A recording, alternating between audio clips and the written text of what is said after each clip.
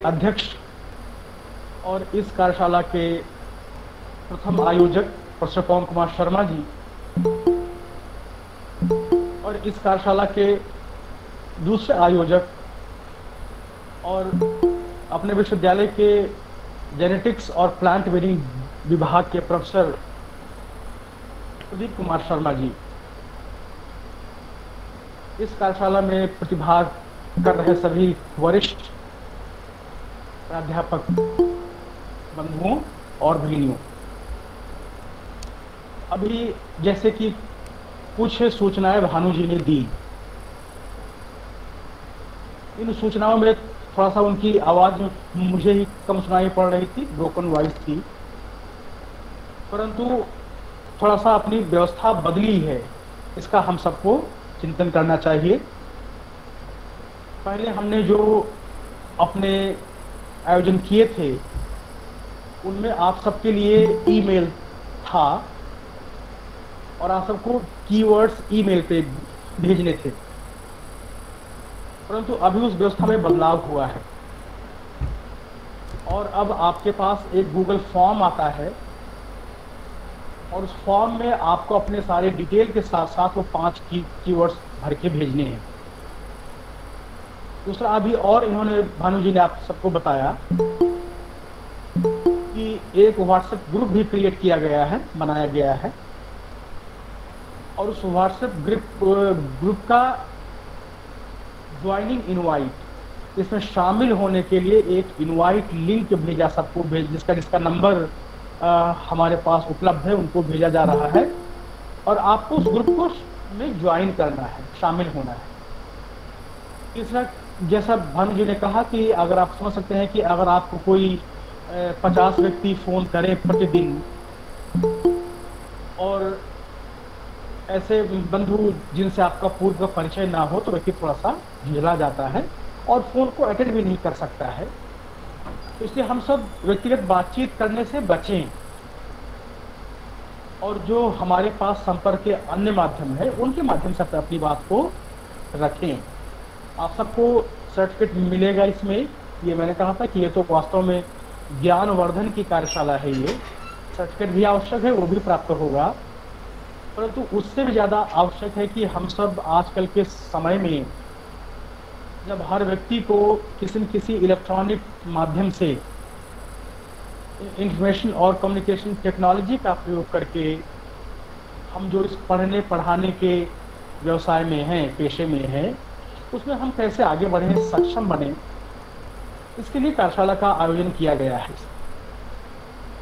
और जैसा मैंने सुबह सुबह भी कहा था, और इससे पूर्व श्रीनिवास जी ने और मसूजन जी ने भी कहा था कि हम सब अपने साथ दो इक्विपमेंट रखें, दो हम अपने पास मशीन रखें। एक में अपने मोबाइल में हम रख सकते हैं, जिसमें हम व्याख्यान को सुन सकते हैं। और जो वक्ता है, उनके लेक्चर का हम आनंद उठा सकते हैं। परंतु इससे अधिक महत्वपूर्ण है कि हम उनके दिए हुए कार्यों को करें। अभी आज के अपने वक्ता जो हैं, उनका भी बहुत रोचक विषय है, जिस पर उनका व्याख्यान होगा। ये व्याख्यान का विषय है गूगल क्लासरूम हम सब कल से ही, बल्कि परसों से ही चिंतित हैं। ये गूगल क्लासरूम क्या है? और अन्य जिस प्रकार के हम सबको प्लेटफॉर्म बताए गए मूडल का या जिनोमियो का, या आज जिस प्रकार से वो ई एल के बारे में बताया गया तो हम लोग किस प्रकार से गूगल क्लासरूम को इसमें सेट बिठाएँ सेट करें? ये हम सब हम सबके लिए बहुत जिज्ञासा का विषय और इस विषय पर आज जो आ, हमारा मार्गदर्शन करने वाले हैं ऐसे प्रोफेसर रजनी रंजन सिंह जी का परिचय सबसे मैं कराता हूँ। ये हम सबका सौभाग्य है कि इससे पूर्व हमारी जो कार्यशाला हुई थी पंद्रह दिन की उसमें भी एक बहुत ही उत्कृष्ट उद्बोधन प्रोफेसर सिंह का हुआ था। और उस कार्यशाला के दौरान भी हम सबको हालाँकि उसमें अप्लाइड बातें थोड़ा कम थी। हैंड्स ऑन अप्रोच से सीखने का कम क्रम कम था उसमें। परंतु इनके, इनका जो विषय था, विशिष्ट शिक्षा का स्पेशल एजुकेशन का, वो बहुत उत्कृष्ट उद्बोधन था। प्रोफेसर सिंह मूलतः शिक्षा संकाय के, शिक्षा विषय के अध्येता हैं। आपकी शिक्षा दीक्षा बनारस हिंदू विश्वविद्यालय में हुई है। और अपने जो शिक्षा विषय के अंतर्गत, जैसे कल अपने जब इनका व्याख्यान हुआ था, मसूजन जी का तो मुझे लगता है कि उनका विषय रहा होगा कंपैरेटिव एजुकेशन बार बार उसका ज़िक्र कर रहे थे। इसी प्रकार से प्रोफेसर रजनी सिंह जी का जो विषय है, वो स्पेशल एजुकेशन आप लखनऊ स्थित डॉक्टर शकुंतला मिश्रा राष्ट्रीय पुनर्वास विश्वविद्यालय में आप शिक्षा संकाय के हेड हैं प्रोफेसर हैं और डीन हैं। आप भी कोविड 19 से पूर्व से ही किस प्रकार से आईसीटी के प्रयोग द्वारा हम ऑनलाइन या डिस, डिस्टेंस और ओपन अध्ययन अध्यापन में रत रह सकते हैं इसके ऊपर हम किस किस प्रकार के प्लेटफॉर्म का प्रयोग कर सकते हैं इसके बारे में प्रोफेसर सिंह का बहुत व्यापक अध्ययन है, अनुभव है। आप कई पुस्तकों के लेखक हैं, बहुत सारे लेख, व्याख्यान आपके प्रकाशित होते रहते हैं। तो अगर प्रोफेसर सिंह हमसे जुड़ गए हों तो उनसे मैं निवेदन करता हूँ कि आप अपना व्याख्यान आरंभ करें। परंतु हम सबको ये ध्यान रखना है जितने प्रतिभागी हैं कि हमको ना तो अपनी स्क्रीन शेयर करना है। इसकी अभी ना ही हमको बीच में किसी प्रकार के ऐसी बातें लिखनी है जिससे डिस्ट्रैक्शन हो वक्ता का। और ना ही हमें कोई ऐसा बीच प्रश्न पूछना है जिसके द्वारा व्याख्यान में कोई व्याधा पड़े। हम सबके पास अंत में समय होता है दस पंद्रह मिनट का। उस समय अपनी बात कह सकते हैं। बहुत सहज व्याख्यान हो रहे हैं और सारे अपने जो वक्ता हैं बहुत सिंपल स्टेप्स बताकर हम सबको सिखा रहे हैं किस प्रकार से हम अपने चीज़ों को ऑपरेट करें। तो आप सब आज इस व्याख्यान का आनंद लें। गूगल क्लासरूम के बारे में समग्र जानकारी और उसका प्रयोग इस विषय पर व्याख्यान के लिए मैं सादर आमंत्रित करता हूँ प्रोफेसर रजनी रंजन सिंह जी को। आपका स्वागत है सर। हाँ बहुत बहुत नमस्कार बहुत हार्दिक अभिवादन। और मैं उम्मीद करता हूँ कि आ, मेरी आवाज़ आप सभी तक पहुँच पा रही होगी। जी जी आपकी आवाज़ बहुत अच्छी आवाज़ आ रही है सर आपकी। तो आ, ये एक फिर से एक एक अकादमिक अवसर प्रदान करने के लिए मैं बहुत ही हार्दिक आभारी हूँ और समय समय पे आपके द्वारा चौधरी चरण सिंह यूनिवर्सिटी और आप जितने भी उस यूनिवर्सिटी के जो वरिष्ठ आचार्यगण हैं और जितने भी रिसर्चर्स हैं और जितने भी प्रतिभागी हैं समय समय पे आप लोगों से मुलाकात विभिन्न प्लेटफॉर्म पे होती रहती है। जैसा कि आ, जो परिचय दिया गया उसमें कहा गया कि आ, कि आ, आज जो हम लोग चर्चा करेंगे विमर्श करेंगे वो गूगल क्लासरूम पे। गूगल क्लासरूम की चर्चा करने से पहले थोड़ा सा उसका एक जो लर्निंग का जो बैकग्राउंड है, जो ऑनलाइन लर्निंग जो है, या जो हम इंटरनेट के माध्यम से जो हम एक दूसरे से कनेक्ट होते हैं, जहाँ पे वो लर्निंग वर्चुअल नहीं है लर्निंग तो ओरिजिनल हो रही है, लेकिन जो माध्यम है, वो माध्यम एक जो है वो वर्चुअल प्लेटफॉर्म है। आ, कितना आश्चर्य कितनी आश्चर्य की बात है कि हम लोग एक दूसरे को फिजिकली तो नहीं देख सकते लेकिन इमेज के फॉर्म में। और डिफरेंट जो एक टेक्नोलॉजिकल जो डिवाइसेस हैं उसके माध्यम से हम अपने आप को कितना करीब महसूस करते हैं। तो यही एक पृष्ठभूमि है ऑनलाइन लर्निंग का। और ऑनलाइन लर्निंग जैसा कि हम जानते हैं कि कोरोना ने एक नई अपॉर्चुनिटी दी है। इसका जो सबसे बेटर पार्ट रहा है कि हमको एक अहमियत पता चला है कि ऑनलाइन लर्निंग या ब्लेंडेड लर्निंग या फ्लिप लर्निंग ये सब जितने भी ये हैं, वो किस तरीके से जब हम फिजिकली टच में नहीं रहे स्टूडेंट के, फिर भी हम टीचिंग लर्निंग प्रोसेस को कंप्लीट कर सकते और इसके जो जो निटिग्रिटीज़ हैं, इनके जो बेसिक जो जो माइन्यूट डिटेल्स हैं, या जो इसके जो डायनामिक्स हैं, उस डायनामिक्स को समझना हमारे लिए बहुत ही इम्पोर्टेंट है। क्योंकि हम जानते हैं कि टीचर जब तक किसी भी प्लेटफॉर्म को कंसेप्चुलाइज नहीं करेगा, जब तक उसको अपनी उसके प्रति उसकी अवधारणा स्पष्ट नहीं होगी। संप्रत्यय जब तक स्पष्ट नहीं होंगे तब तक शायद हम किसी भी प्लेटफॉर्म को बहुत अच्छे तरीके से यूज़ नहीं कर सकते। आ, इसके आ, थोड़ा सा आ, एक हम आ, इसका एक थियोरेटिकल बैकग्राउंड लेंगे। उसके बाद फिर चूँकि हमारे पास तीन से पाँच का वक्त है तीन पीएम से लेकर के फाइव पीएम तक का वक्त है। और इसमें हम लोग जो इसके एक एक थियोरेटिकल बैकग्राउंड से लेकर के उसके बाद जो हैंड्स ऑन एक्सपीरियंसेस हैं। क्योंकि हैंड्स ऑन एक्सपीरियंसेस से पहले हमें ये समझना पड़ेगा कि क्या क्या एक्टिविटीज़ हम कर सकते हैं, इसकी फ़िलासफ़ी क्या है, ये क्यों हमारे लिए इम्पोर्टेंट है, और फिर आप इसको असेस कर सकते हैं इवेलुएट कर सकते हैं कि आपके लिए ये कितना मददगार साबित हो सकता है। आप इनको किस किस मकसद से यूज़ कर सकते हैं। आप अपने कुलीग से इंटरेक्शन करने के लिए, आप अपने स्टूडेंट से इंटरेक्शन करने के लिए, आप रिसर्च पर्पज से एक फोकस्ड ग्रुप इंटरेक्शन करने के लिए। मीन्स क्या कि एम्पल अपॉर्चुनिटीज़ हैं एम्पल डायमेंशंस हैं जिसके थ्रू आप गूगल क्लासरूम आपको बहुत ही हेल्प कर सकता है। इससे पहले क्योंकि मैं प्रेजेंट करना चाहता हूँ कि आप स्क्रीन को देख पा रहे होंगे। और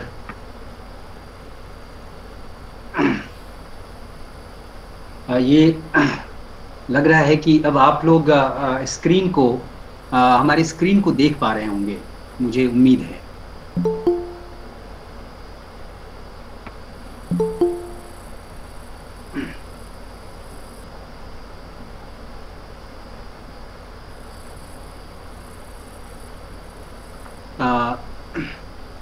जिसमें आज जो हम लोग मेरी आवाज़ आ रही है? जी आ रही है सर आवाज़ आ रही है। और स्क्रीन और स्क्रीन फुल दिख रहा है। जी जी स्क्रीन भी दिख रहा है। हाँ थैंक यू जैसे जैसा कि बताया गया कि आज हम लोग गूगल क्लासरूम के बारे में और गूगल क्लासरूम बेसिकली एक ऑनलाइन लर्निंग मैनेजमेंट सिस्टम है। ऑनलाइन लर्निंग मैनेजमेंट सिस्टम का मतलब है कि बेसिकली हम कंप्यूटर्स के माध्यम से और इंटरनेट के कनेक्टिविटी के माध्यम से हम स्टूडेंट के साथ टीचर टीचर के साथ स्टूडेंट स्टूडेंट के साथ एक मल्टी वे में हम इंटरेक्ट कर सकते हैं। और हम जानते हैं कि टीचिंग में कम्युनिकेशन बहुत इंपॉर्टेंट है संप्रेषण बहुत इंपॉर्टेंट है। और संप्रेषण जितनी अधिक यदि प्रभावशाली होंगे, उतना ही जो टीचिंग और लर्निंग इंपॉर्टेंट रोल प्ले करेगा। तो ये एक गूगल क्लासरूम एक ऑनलाइन लर्निंग मैनेजमेंट सिस्टम है।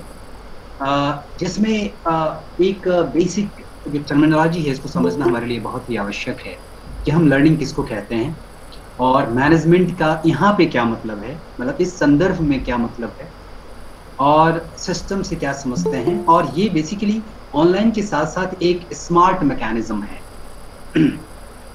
तो लर्निंग का जैसा कि मतलब हम समझते हैं कि जो हमारे व्यवहार में जो भी परिवर्तन होता है, हमारे बिहेवियर में जो भी चेंजिंग होते हैं, और वो एक्सटर्नल स्टिमुलेशन से, जिसका बेस इंटरनल डायनेमिक्स होते हैं कि हमारी मेमोरीज हमारे प्रीवियस एक्सपीरियंसेस हमारे बहुत सारे जो इंटरनल डायनेमिक्स हैं, जो ब्रेन बेस्ड डायनेमिक्स हैं, जो माइंड बेस्ड डायनेमिक्स हैं, जो मस्तिष्क आधारित जो गतिकी है, जो मन आधारित जो गतिकी है, उसके आधार पे जब हम हमारे बिहेवियर में किसी एक्सटर्नल स्टिमुलेशन के माध्यम से, किसी बाह्य उद्दीपन के माध्यम से जब हमारे व्यवहार में जब चेंज होता है तो हम इसको लर्निंग कहते हैं। और लर्निंग के लिए आ, आप देखते होंगे कि हम कॉलेज लेवल पे स्कूल लेवल पे यूनिवर्सिटी लेवल पे एक कंड्यूसिव एनवायरनमेंट क्रिएट करते हैं।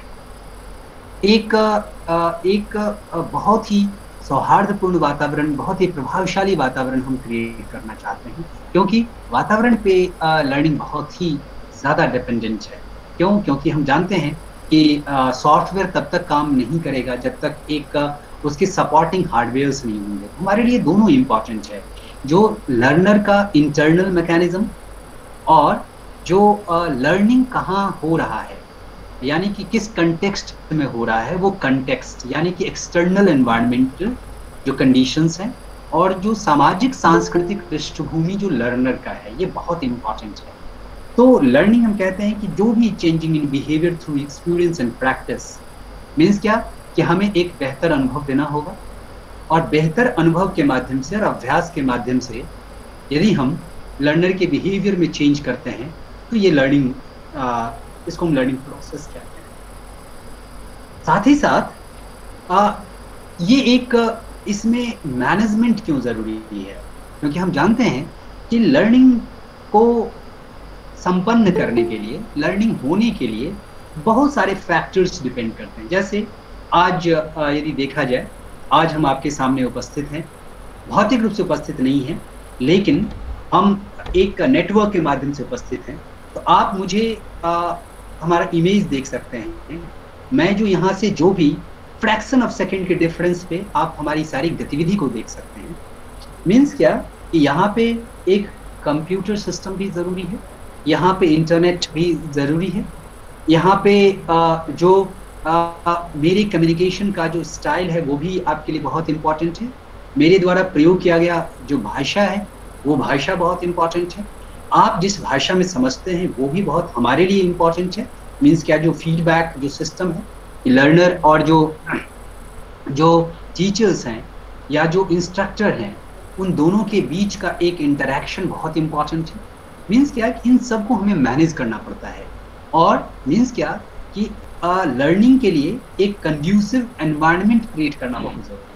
क्योंकि जब तक हम एक कंड्यूसिव एनवायरनमेंट जब तक हम एक प्रभावशाली वातावरण, जब तक एक हम लर्नर के अकॉर्डिंग टू अधिगमकर्ता के अकॉर्डिंग टू सीखने वालों के अकॉर्डिंग टू जब तक हम वातावरण क्रिएट नहीं करेंगे तब तक इफ़ेक्टिव लर्निंग नहीं हो सकती है। इसलिए इसको मैनेज करना बहुत ज़रूरी है कि हम इस कंटेंट को पहले रखें हम किस तरीके से कैसे कंटेंट को कैसे स्टार्ट करें कौन से विषय वस्तु को हमें सबसे पहले स्टार्ट करना चाहिए। हमें ये बात की आ, एक एज ए टीचर हमें इस बात की जानकारी ज़रूर होना चाहिए कि हमारे जो लर्नर हैं उनका जो बैकग्राउंड है जो प्रीवियस एकेडमिक बैकग्राउंड है वो क्या है कैसे है? ये जो फोकस ग्रुप है उस फोकस ग्रुप किस किस एरिया से बिलोंग करते हैं कि ताकि हम जब एग्ज़ाम्पल साइट करें, जब हम उदाहरण पेश करें तो उदाहरण पेश करने में हमें उनकी सामाजिक, सांस्कृतिक पृष्ठभूमि का ध्यान अवश्य रूप से रखना चाहिए। तो इन सभी चीज़ों को मैनेज करना पड़ता है और सिस्टम जानते हैं कि लर्निंग अपने आप में एक सिस्टम है। क्यों? क्योंकि इसमें टीचर भी इन्वॉल्व है, इसमें कंटेंट भी इन्वॉल्व है, इसमें करिकुलम भी इन्वॉल्व है, इसमें मेथड्स भी इन्वॉल्व है, इसमें मेथडोलॉजी भी इन्वॉल्व है।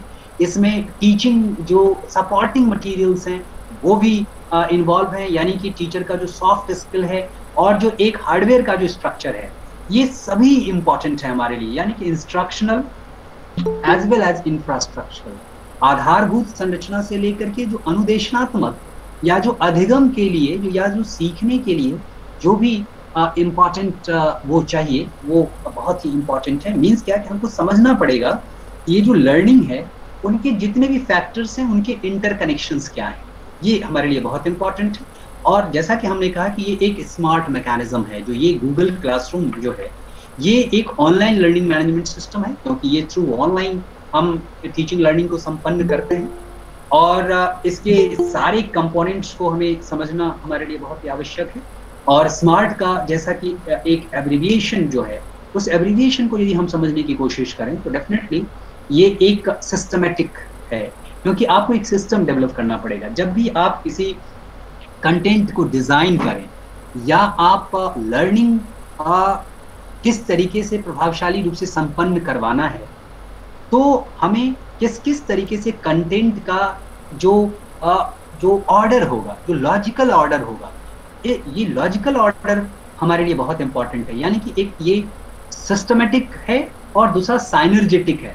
साइनर्जी बहुत होना चाहिए। एक जो एक संबंध है जो लर्नर के बीच और टीचर्स के बीच ये सेनर्जेटिक रिलेशनशिप होना बहुत ज़रूरी है। वो संबंध होना बहुत ज़रूरी है। और जैसे कि एम का मतलब माइंडफुलनेस लर्नर को हम इस तरीके से एक एक एक्साइटमेंट प्रदान करें लर्निंग के प्रति, एक जॉयफुल कंडीशन जो है, एक उनके ये हँसते हँसते अधिगम करना, किसी कंटेंट को अननेसेसरली बहुत ज़्यादा बोझ क्रिएट नहीं करना, यानी कि लर्निंग विदाउट बर्डन बहुत इंपॉर्टेंट है।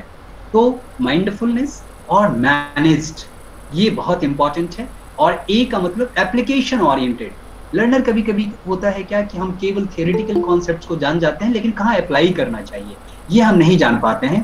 तो लर्नर को ये ज़रूर हमें एक ओरिएंट करना चाहिए, उसको एक प्रेरित करना चाहिए ये यदि आपने लर्न किया है तो ये लर्निंग जो है, वो किस सोशियो कल्चरल पर्सपेक्टिव में आप इसको किस तरीके से अप्लाई करें?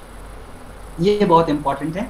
और यही हो रहा है कि जब हम क्लासरूम के लर्निंग को बच्चा सोशियो कल्चरल कंडीशन में वो अप्लाई नहीं कर पाता वो कनेक्ट नहीं कर पाता है। तो ये जो कनेक्टिंग है ये कनेक्टिंग जो एक जो कंपोनेंट है ये बहुत इंपॉर्टेंट है।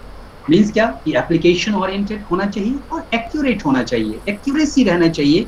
मीन्स क्या? कि हम आ, किस तरीके से आ, कितने समय में हमें क्या लर्न करवाना है? लर्नर की पृष्ठभूमि क्या है? हमें इन सब चीज़ को बहुत एक्यूरेसी के साथ असेस करने की ज़रूरत पड़ती है नहीं तो अदरवाइज़ हम जानते हैं यदि हम असेसमेंट की एक्यूरेसी नहीं रखेंगे या किसी भी सिस्टम को जानने की एक्यूरेसी नहीं रखेंगे तो हमारे लिए ये बहुत ही मुश्किल कार्य होगा कि हम लर्निंग को प्रभावशाली तरीके से संपन्न कर सकें। इसके अलावा यदि हम देखें तो जो आर है आर का मतलब रिज़ल्ट बेस्ड यानी कि ये जो ऑनलाइन लर्निंग मैनेजमेंट सिस्टम है, ये रिज़ल्ट क्योंकि हम जानते हैं कि जब आप किसी बच्चे का असेस करते हैं तो असेसमेंट का उसको रिज़ल्ट सुनने में बहुत मज़ा आता है। चाहे आ, वो एग्ज़ाम चाहे आप जिस तरीके से लें लेकिन जब तक आप रिज़ल्ट उसे नहीं देते हैं तब तक लर्नर में एक एक्साइटमेंट बना रहता है। मीन्स क्या? कि रिज़ल्ट को जानना या रिज़ल्ट की तरफ़ उसे उन्मुख करना हमारे लिए बहुत ज़रूरी होता है। और जब तक हम इसको नहीं करेंगे तब तक शायद लर्निंग प्रभावशाली तरीके से संपन्न नहीं होगा।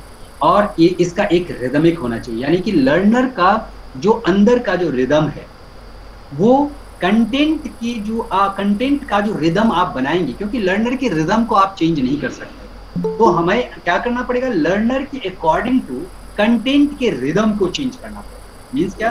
कि जब हम गूगल क्लासरूम या किसी भी क्लासरूम में, जब हम लर्निंग मटेरियल को ऑर्गेनाइज करेंगे तो उसमें एक रिदम होना चाहिए। और रिदम का आधार क्या होगा? उसके लय का आधार क्या होगा? तो जो अधिगम करता का जो लय है उसके सीखने की जो गति है, उसके सीखने की जो लय है, उस लय से कंटेंट को मैच करना होगा। और हम ज़्यादातर करते क्या है कि हम अपने अकॉर्डिंग टू टीच कर देते हैं। हम कभी भी लर्नर को गेज नहीं करते। हम कहते हैं करिकुलम को हमने फिनिश कर हमने अपने कंटेंट को फिनिश कर दिया। हमने अपने सिलेबस को फिनिश कर दिया। मीन्स क्या? कि ये फिनिशिंग जॉब नहीं है। ये तो एक एक्साइटिंग जॉब है। हम इस तरीके से केवल लर्नर को एक एक्साइटमेंट लाएँ कि ताकि एक बार यदि उसके मेंटल कंडीशन में यदि वो बेहतर तरीके से एक बार एक्साइटमेंट हो गया तो डेफिनेटली फिर वो न जाने कितने कंटेंट को सीख लेगा। क्योंकि उसके अंदर इग्निशन बहुत ज़रूरी है। उसके अंदर का जो एक आ, आ, जो एक जो लर्निंग को अकर करने के लिए लर्निंग के अकरेंस के लिए या अधिगम को संपन्न करने के लिए जो भी एक एनवायरनमेंट है या जो भी लर्नर के जो ब्रेन को इग्नाइट करना बहुत आवश्यक है। तो इस तरीके से एक रिज़ल्ट बेस्ड एंड रिदमिक होना चाहिए एंड टाइम टेलर्ड यानी कि लर्नर कभी कभी होता क्या है कि जैसे आप आज आ, ये मैकेनिज्म है लर्निंग का अभी चल रहा है वर्कशॉप के माध्यम से आज हम लोग रूबरू हो रहे हैं। लेकिन इसके साथ साथ इसकी रिकॉर्डिंग भी हो रही है मान लिया जाए कि कोई लर्नर ऐसा भी होगा कि अभी आ, उसका कहीं कोई और असाइनमेंट होगा कहीं वो और हैंगओवर की स्थिति में होगा कहीं लगता है कि हमें कहीं और जाना पड़ सकता है। फिजिकली आप यहाँ पे प्रेजेंट हैं आप अपने वर्कशॉप में लेकिन मेंटली कहीं और एबसेंट है। लेकिन जब आपकी इच्छा होगी जब ये रिकॉर्डेड वर्जन है तो आप किसी भी समय में अपनी इच्छा के अनुसार और अपनी आवश्यकता के अनुसार इसको देख सकते हैं। तो टाइम टेलर्ड बहुत इंपॉर्टेंट है। टाइम के अकॉर्डिंग टू हम ऐसा करें कि जब लर्नर को जब इच्छा होगी तब लर्नर अपनी गति के अकॉर्डिंग टू अपनी आवश्यकता के आ, अनुसार वो आ, उस कंटेंट को एक्सेस कर सकता है उस कंटेंट तक उसकी पहुँच बन सकती है। और थीमेटिक बेस्ड होना चाहिए क्योंकि हम जानते हैं कि बिना थीम के बिना कंटेक्स्ट के बिना संदर्भ के लर्निंग संपन्न हो ही नहीं सकती तो ये एक इसका बेसिक फिलोसॉफिकल ये है क्योंकि हम जानते हैं कि बहुत बड़ा एक शिफ्ट हुआ है पैराडाइम में। टीचर्स का पहले था कि पहले टीचर टीच करता था। अब टीचिंग का नहीं है। हमें केवल उसको जानने में मदद करनी है। आ, पहले एज ए लर्निंग प्रोसेस को देखा जाता था कि ये कमोडिटी है। केवल हमें क्या करना है? ट्रांसफ़र कर देना है। इंस्ट्रक्शन दे देना है। लेकिन अब इंस्ट्रक्शन नहीं हमें कंस्ट्रक्शन पे बेस्ड है। हम इस तरीके से ऑनलाइन लर्निंग मटेरियल को भी डिज़ाइन करें कि ताकि लर्नर को कंस्ट्रक्ट करने का मौका तो हम इंस्ट्रक्टिविज्म से हट करके एक केवल अनुदेशन आधारित जो अधिगम है, उससे दूर हट करके हमें एक सृजनशीलता या एक जो निर्मितिवाद है, उसके आधार पे हमें चलना पड़ेगा इस लर्निंग को। यानी कि लर्निंग को यदि देखा जाए तो वो एक ऑब्जेक्टिव प्रोसेस नहीं हो सकता। लर्निंग एक सब्जेक्टिव एक्सपीरियंस है, क्योंकि ईच एंड एवरी लर्नर जो है अलग अलग तरीके से सीखता है। तो हमें देखना पड़ेगा कि मल्टीपल एंगेजमेंट रखने पड़ेंगे। मीन्स क्या कि आप कभी उसमें वीडियो भी दीजिए, उसमें कभी आप टेक्स्ट भी दीजिए ऑडियो वर्जन भी दीजिए। मीन्स क्या कि आप जितने अधिक सेंस ऑर्गन्स का एंगेजमेंट रखेंगे, जितने अधिक मल्टी सेंसरी अप्रोच रखेंगे, उतना अधिक वो प्रभावशाली हो तो इसलिए हमें ये इंपॉर्टेंट है कि हमें लर्निंग को एज ए सब्जेक्टिव एक्सपीरियंस मानना पड़ेगा क्योंकि हर एक लर्नर जो है हर एक जो अधिगम करता है आ, आ, उसकी रुचि अलग है उसकी आवश्यकता अलग है आ, उसकी गति अलग है। तो हमें एज ए टीचर होने के नाते केवल हमें ये नहीं कि हमने टीच कर दिया। आप कभी टीच मत कीजिए आप केवल और केवल उसके लिए लर्निंग के लिए अपॉर्चुनिटी दीजिए अवसर दीजिए। और आप जितना अधिक अवसर देंगे उतने अधिक तरीके से उसको तरह तरीके से तरह तरह से उसको आ, वो अपने अनुभव से उसे जोड़ेगा। अनुभव से उसको कनेक्ट करेगा। और जैसे लर्नर ने कनेक्ट करना सीख लिया तो आपकी आ, जो आप ये आ, जो आपका जो प्रयास है वो प्रयास सफल हो जाएगा। तो इसीलिए जो पहले का जो एक ये था कि receiver of knowledge through transmission केवल हमने ट्रांसमिट कर दिया लेकिन नहीं।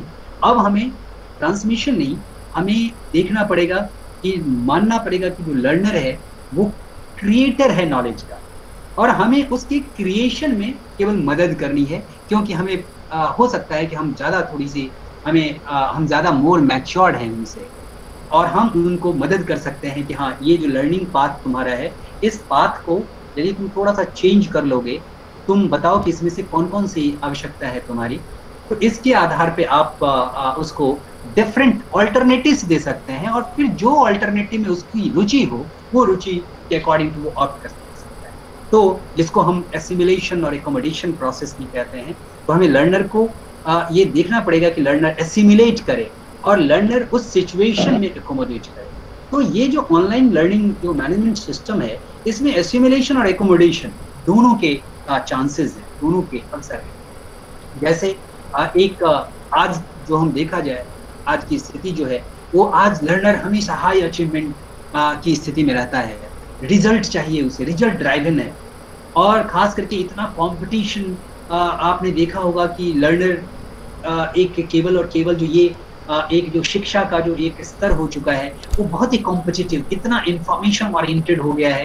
तो हमें इन सब चीज़ों को देखना पड़ेगा कि हम कैसे लर्नर को एक रियल सिचुएशन में हम लाने की कोशिश करें। इस तरीके से हम लर्नर को किस तरीके से केवल मेमोराइज करने पे हम फोकस ना करें बल्कि जब हम गूगल क्लासरूम में बहुत सारे असेसमेंट के भी ऑप्शंस हैं और आप बहुत तरीके से आप उनको एक क्रिटिकल उनके क्रिटिकलिटी को उनके आ, जो एक क्रिटिकल थिंकिंग को उनके चिंतन को थोड़ा सा एक देखा जाए तो डूज एंड डोंट्स जितने भी हैं या जितने भी फॉर एंड अगेंस्ट जितने भी हैं मीन्स क्या? कि हमें देखना पड़ेगा कि लर्नर किस तरीके से एक आ, आ, एक रिफ्लेक्टिव लेवल का थिंकिंग कर सकता है। क्योंकि केवल मेमोराइज करेगा तो केवल वही कंटेंट जो कंटेंट आपने सिखलाया है वही कंटेंट आपके सामने वो रख लेगा लेकिन जब आप एक थॉट प्रोसेस ओरिएंटेड या थॉट प्रोवोकिंग क्वेश्चन उसके सामने रखेंगे तो वो उसका जो अंदर का जो न्यूरल कनेक्शन है वो कनेक्शन क्या है कि वो डेफिनेटली उसमें वृद्धि होगी और लर्नर क्रिटिकली थिंक करेगा। तो ये हमारे लिए बहुत इंपॉर्टेंट है। और यदि देखा जाए तो हमारे लिए बहुत एक ये स्थिति बनती है। मीन्स क्या कि आज यदि देखा जाए आज हम लोग जहाँ पे हैं लर्निंग जो है पहले था कि time and space bound learning हुआ करता था कि आपको यहीं पे आना पड़ेगा। लेकिन आज यदि देखा जाए तो learning any time any place चाहिए।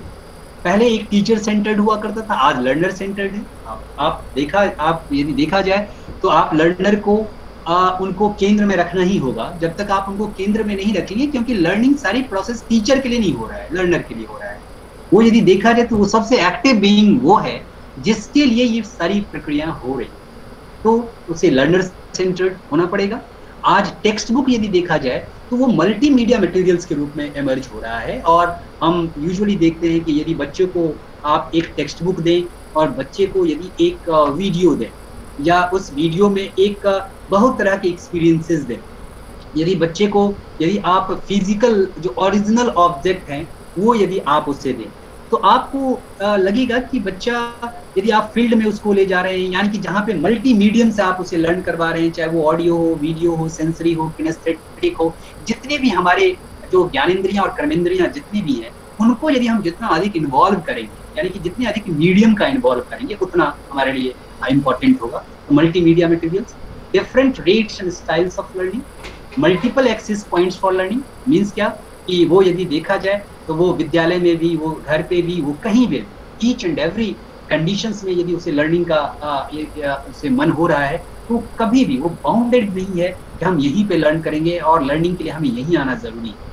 तो इस तरीके से यदि देखा जाए और पर्सनलाइज इंस्ट्रक्शन आप यदि क्वेश्चंस भी फ्रेम करें तो आप उसमें हर एक लेवल के क्वेश्चन को रखें। मीन्स क्या कि वो क्वेश्चन नॉलेज लेवल का भी होना चाहिए वो क्वेश्चन अंडरस्टैंडिंग लेवल का भी होना चाहिए। और यदि आप क्वेश्चन रखेंगे नॉलेज लेवल का तो कंटेंट को भी आपको उसी तरीके से प्रेजेंट करना तो यदि देखा जाए तो पर्सनलाइज इंस्ट्रक्शन इस तरीके से आ, आ, एक बहुत इंपॉर्टेंट है। और हम जानते हैं कि लर्निंग जो है ये तीनों कंडीशन में चाहे वो लर्निंग टू नो हो लर्निंग टू डू हो लर्निंग टू बी हो लर्निंग टू लिव टुगेदर है।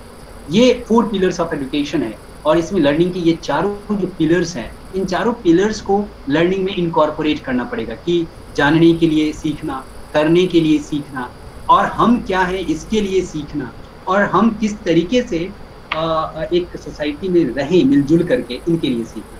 तो ये आज डिमांड है टीचिंग लर्निंग का और हम जानते हैं कि ये जो दुनिया है वो वर्ल्ड को एज ए ग्लोबल विलेज के रूप में आज कंसिडर किया जा रहा है, एक वैश्विक ग्राम के रूप में देखा जा रहा है, जहाँ पे जो जो इंफॉर्मेशन एंड कम्युनिकेशन टेक्नोलॉजी का डोमिनेंस बढ़ता जा रहा है, उस सिचुएशन में, क्योंकि आज यदि देखा जाए तो पॉपुलेशन एक्सप्लोशन है इंफॉर्मेशन का एक्सप्लोशन है नॉलेज मैनेजमेंट होना चाहिए इन दोनों एक्सप्लोशन के इसमें, क्योंकि हमारे पास रिसोर्सेज जो हैं लिमिटेड हैं, और हमारे पास इंफॉर्मेशन जो एक्सप्लोर कर रहा है और पॉपुलेशन भी एक्सप्लोर कर रहा है, इन दोनों के मैकेनिज्म में यदि देखा जाए तो एक आईसीटी एक सिग्निफिकेंट रोल क्योंकि पूरा रोल प्ले नहीं कर सकता, लेकिन एक सिग्निफिकेंट रोल प्ले कर सकता है।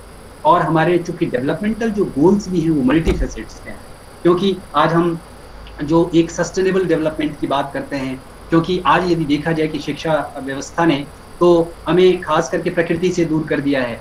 और हमें यदि देखा जाए कि हम रिसोर्सेज को बहुत ही आ, नहीं समझ पा रहे हैं कि हमारे पास कितने रिसोर्सेज का कितना यूज़ करना चाहिए।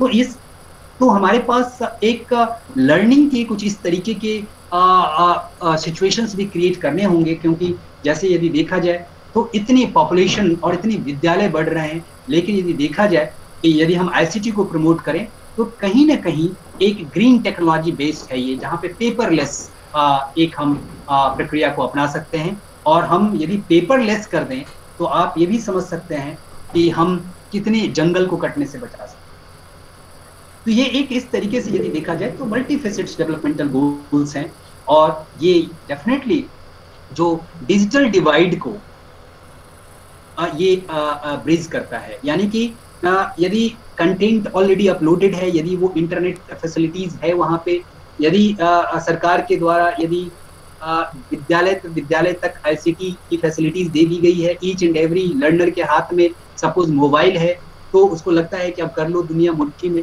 तो मीन्स क्या है कि डिजिटल डिवाइड यानी कि आप स्टैनफोर्ड यूनिवर्सिटी के लेक्चरर का, का भी आप लेक्चर सुन सकते हैं। हमारे आ, आ, जो भारतीय विश्वविद्यालय है भारतीय विश्वविद्यालय में बहुत जो बड़े बड़े एमिनेंट स्कॉलर हैं आप वहाँ के लेक्चर को सुन सकते हैं। मीन्स क्या कि अब ये जो है टाइम एंड स्पेस से रिलेटेड वो बाउंडिंग अब नहीं है। तो उस डिजिटल डिवाइड को गैप करने में ये एक बहुत इंपॉर्टेंट है। जहाँ के हम लोगों ने इसको देखा भी कि आजकल चूँकि पर्सनल और ऑक्यूपेशनल मोबिलिटी बहुत बढ़ रहा है, लोग एक जगह से दूसरी जगह जा रहे हैं और लोगों का मटेरियलिस्टिक ओरिएंटेशन ऑफ़ लाइफ भी हो गया है। एडुकेशन फॉर ऑल कैंपेन चल रहा है क्योंकि हम जानते हैं कि एडुकेशन तक सबको पहुंचाना है। इसमें एक टेक्नोलॉजी का कितना बड़ा रोल है। और आज कोविड 19 ने एक नई अपॉर्चुनिटी दी है कि हमने आ, आज चाहे हम फिजिकली मीट नहीं कर पा रहे हैं लेकिन एडुकेशन फॉर ऑल कैंपेन को पार्शियली भी सक्सेस करने में आ, आ, ये बहुत बड़ा रोल प्ले कर रहा है। और जो लाइफ लॉन्ग लर्निंग है आ, इसके लिए तो खैर एक बहुत ही बेहतर एक ये मैकेनिज्म है।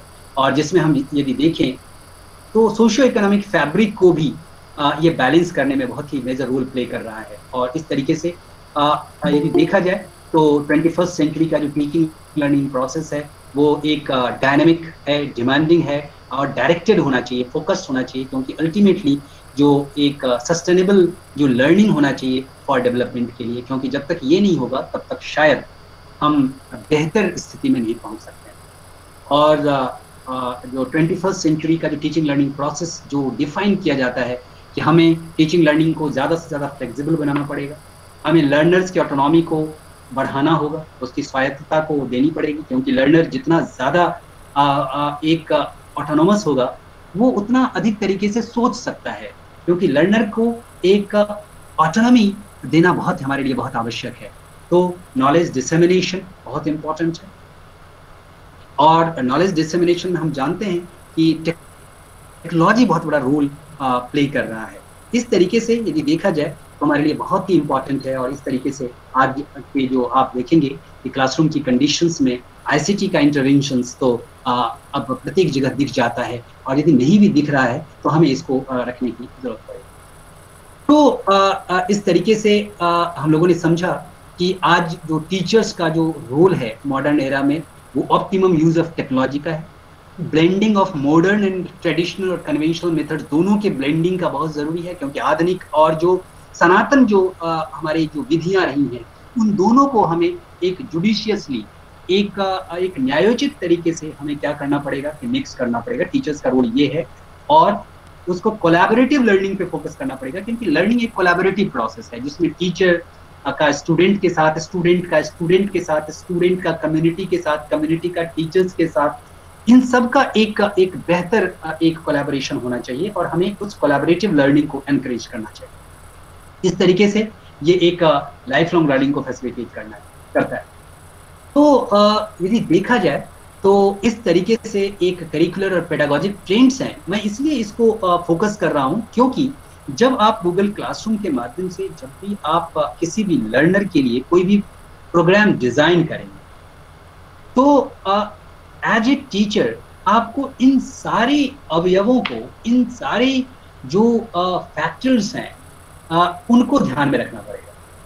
क्योंकि जब तक आप इसको ध्यान में नहीं रखेंगे तब तक आप एक बहुत अच्छा क्लासरूम क्रिएट नहीं कर सकते। तब तक अच्छा आप कंटेंट डिसाइड नहीं कर सकते। क्योंकि केवल ये गूगल क्लासरूम तो है लेकिन आप जानते हैं कि क्लासरूम बिना कंटेंट के नहीं होगा क्लासरूम बिना करिकुलम के नहीं होगा क्लासरूम बिना असेसमेंट के नहीं होगा। तो आपको लगता है कि ये गूगल क्लासरूम है लेकिन ये कंप्लीट टीचिंग लर्निंग प्रोसेस को ये इनकॉर्पोरेट कर लेता है। तो इस तरीके से यदि देखा जाए तो ये एक, हम यदि कहें कि एक ये निर्मितिवाद पे, यानी कि अधिगम करता ये हमारा विश्वास है कि प्रत्येक अधिगम करता जो है, वो अपने ज्ञान का निर्माण स्वयं करता है। हम केवल उसे मदद करते हैं, क्योंकि अंदर उसकी डिवाइन पोटेंशियल है। और उसको पता चलता है कि हमें किन किन से मदद लेनी है। यानी कि इसी को हम कहते हैं ये कंस्ट्रक्टिविस्ट मॉडल है क्योंकि लर्नर लर्निंग जो है एक कंस्ट्रक्टिव प्रोसेस है ना कि एक इंस्ट्रक्टिव प्रोसेस है। ज़्यादातर इंडियन क्लासरूम में यदि देखें uh, जो इंडियन क्लासरूम कहने से ज़्यादा बेहतर होगा कि वर्ल्ड के भी आप ज़्यादातर देखेंगे तो हम ज़्यादातर यदि देखें तो हम लर्नर के आ, के अनुभव को हम बहुत ज़्यादा तरजीह नहीं देते। शिक्षक जाता है क्लासरूम में, केवल डिलीवर करके आ जाता है। उसको लगता है कि केवल हमें ये कार्य कर देना। तो इससे काम नहीं चलेगा। यानी कि हमें लर्निंग को डेमोक्रेटिक बनाना पड़ेगा। और हम जानते हैं कि डेमोक्रेसी में हम क्या करते हैं कि ईच एंड एवरी इंडिविजुअल की डिग्निटी का ख्याल रखते हैं, उनके नीड का ख्याल रखते हैं, उनकी आवश्यकता का ख्याल रखते हैं, उनकी आकांक्षाओं का ख्याल रखते हैं। तो और उनके इंडिविजुअल डिफरेंसेस जो हैं, उनकी जो व्यक्तिगत विभिन्नता है, उनको भी हम ध्यान में रखते हैं और व्यक्तिगत जो समानता है उसको भी ध्यान में रखते हैं। तो इस तरीके से यदि देखा जाए तो एक constructivist model of learning democratic model of learning personalised model of learning novelty and flexibility in teaching and learning नयापन होना चाहिए और लचीलापन होना चाहिए। क्योंकि हम आ, एक ही मॉडल में सबको फिट नहीं कर सकते। तो आप जितना फ्लेक्सिबिलिटी रखेंगे लर्निंग उतना ही सक्सेसफुल होगा।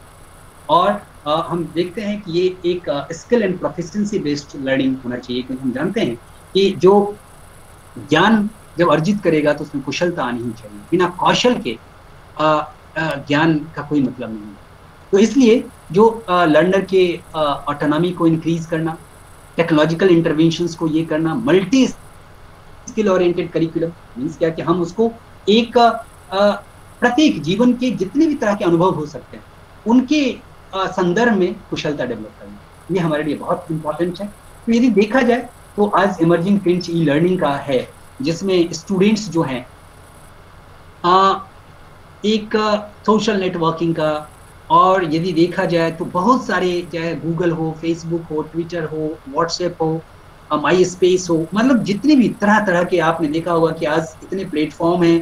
खास करके जो वीडियो कॉन्फ्रेंसिंग के भी यदि देखा जाए तो चाहे वो जितची है, चाहे वो जूम है, चाहे वो गूगल मीट है, चाहे आपने देखा होगा कि इतनी सारे प्लेटफॉर्म्स हैं। अब आपको डिसाइड करना है कि कौन सा प्लेटफॉर्म हमारे लिए किस काम का है और किस प्लेटफॉर्म में क्या क्या फीचर्स है। क्योंकि एज ए टीचर आपको ये ध्यान में रखना पड़ेगा। तो यानी कि गूगल क्लासरूम यदि देखा जाए तो यह एक एक देखा जाए तो एक एक लर्निंग एक बेहतर लर्निंग मैनेजमेंट सिस्टम है, जिसमें यदि देखा जाए तो ये एक फ्री वेब सर्विस है।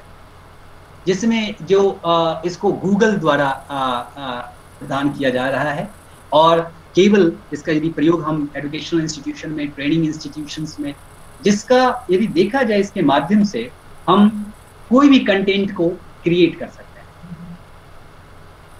इसका सृजन कर सकते हैं। और केवल सृजन ही नहीं कर सकते, बल्कि हम इसे डिस्ट्रीब्यूट कर सकते हैं। और डिस्ट्रीब्यूशन में हम लर्निंग के लर्नर की नीड के अकॉर्डिंग टू डिस्ट्रीब्यूट कर सकते तो इस तरीके से डिस्ट्रीब्यूटिंग और केवल क्रिएटिंग यानी कि केवल सृजन करना ही नहीं, विकास करना ही नहीं कंटेंट का, बल्कि डिस्ट्रीब्यूट करना भी और डिस्ट्रीब्यूशन के बाद उसका ग्रेडिंग भी कर यानी कि इसमें इवेल्युएशन भी आप कर सकते तो इवेल्युएशन भी एक बहुत इंपॉर्टेंट आस्पेक्ट है, यानी कि यदि देखा जाए तो एक गूगल क्लासरूम का जो प्राइमरी पर्पस है वो क्या है कि हम आ, एक एक वाइब्रेंट क्लासरूम क्रिएट कर सकते हैं। एक स्मार्ट क्लासरूम डिसाइड कर सकते हैं। एक पेपरलेस क्लासरूम हम डेवलप कर सकते हैं। और जहाँ पे लर्नर अपनी गति के अकॉर्डिंग अपनी आवश्यकता के अकॉर्डिंग लर्नर अपने टीचर से स्टूडेंट स्टूडेंट से आ, और यदि हम मौका दें तो इसमें हम इवन की उनके पेरेंट्स को भी। डिफरेंट ईमेल आईडी के माध्यम से हम उनको भी ऐड कर सकते हैं कि ताकि एक पेरेंट्स को भी पता चल सके कि एक वर्चुअल लर्निंग प्लेटफॉर्म पे बच्चे क्या कर रहे हैं और टीचर क्या कर रहे हैं। मीन्स क्या कि इसमें एक अच्छी मॉनिटरिंग प्रोसेस की है। तो यदि कहा जाए तो the primary purpose of Google Classroom is to streamline the process of sharing files between teachers and students trainers and trainers Google Classroom के साथ साथ एक कहा जाता है कि ये कोहेसिव प्लेटफॉर्म कोहेसिव प्लेटफॉर्म का मतलब ये है कि इसमें हम एक बहुत तरह का बहुत तरीके का कन्वर्जेंस कर सकते हैं। मीन्स मिला सकते हैं। इसके साथ साथ हम एक मल्टीपल प्लेटफॉर्म को हम ये कर सकते हैं। तो देखा जाए तो हम डॉक्यूमेंट्स को इंटीग्रेट कर सकते हैं। गूगल शीट्स को कर सकते हैं, स्लाइड्स को कर सकते हैं जीमेल को कर सकते हैं, गूगल कैलेंडर को कर सकते हैं। और इस तरीके से यदि देखा जाए तो सारे प्लेटफॉर्म को हम एक कोहेसिव तरीके से यूज़ करते हैं। जिसमें, जिसका मेन काम है कि स्टूडेंट और टीचर की कम्युनिकेशन को मैनेज करना। क्योंकि हम जानते हैं कि टीचिंग लर्निंग प्रोसेस में कम्युनिकेशन बहुत इंपॉर्टेंट रोल प्ले करता है। आप, आपने कोई कंटेंट आपने अपलोड किया तो आप कम्युनिकेट कर रहे हैं स्टूडेंट से स्टूडेंट फिर उसको रीड करेगा। स्टूडेंट फिर से हमें बतलाएगा कि हमको ये समझ में आ रहा है, हमको ये समझ में नहीं आ रहा है, हमको इस कंटेंट का ये सिंप्लीफिकेशन चाहिए। मीन्स क्या कि आप एक, जो एक सिंक्रोनस कम्युनिकेशन कर सकते हैं।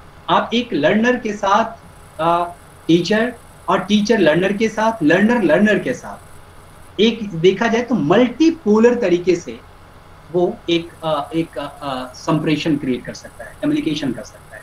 तो इस तरीके से देखा जाए तो एक ये बहुत इंपॉर्टेंट है कि हम इसमें बहुत प्लेटफॉर्म को इंटीग्रेट कर लेते हैं कन्वर्ज कर लेते हैं, मिला लेते हैं और उसके बाद एक इफ़ेक्टिव लर्निंग एनवायरनमेंट क्रिएट करने की कोशिश करते हैं और स्टूडेंट को हम, खास करके बहुत ही एक प्राइवेट कोड के माध्यम से जो ऑटोमेटिकली आपने सपोज़ कि जब गूगल क्लासरूम आपने डाउनलोड किया और जो कि आप जब अपने ईमेल को जब आप खोलते होंगे, और आपको ईमेल खोलने के जस्ट आप देखते होंगे कि आपके राइट हैंड साइड में एक एक एक आइकन रहता है, उस आइकन में जो क्रॉस बार्स टाइप के रहते हैं, उसको यदि आप क्लिक करेंगे, जिसको हम लोग आगे प्रैक्टिस करेंगे, उसको यदि आप करेंगे तो उसमें गूगल के जितनी भी सर्विसेज़ हैं, चाहे वो यूट्यूब के यूट्यूब हो चाहे वो हैंग आउट हो, चाहे जिसको गूगल मीट कहते हैं मीन्स क्या के जो डॉक है, जितने भी तरीके से, वो गूगल के सारे सर्विसेज़ आपको उस आइकन को यदि आप क्लिक करेंगे तो आपको मिल जाएगा।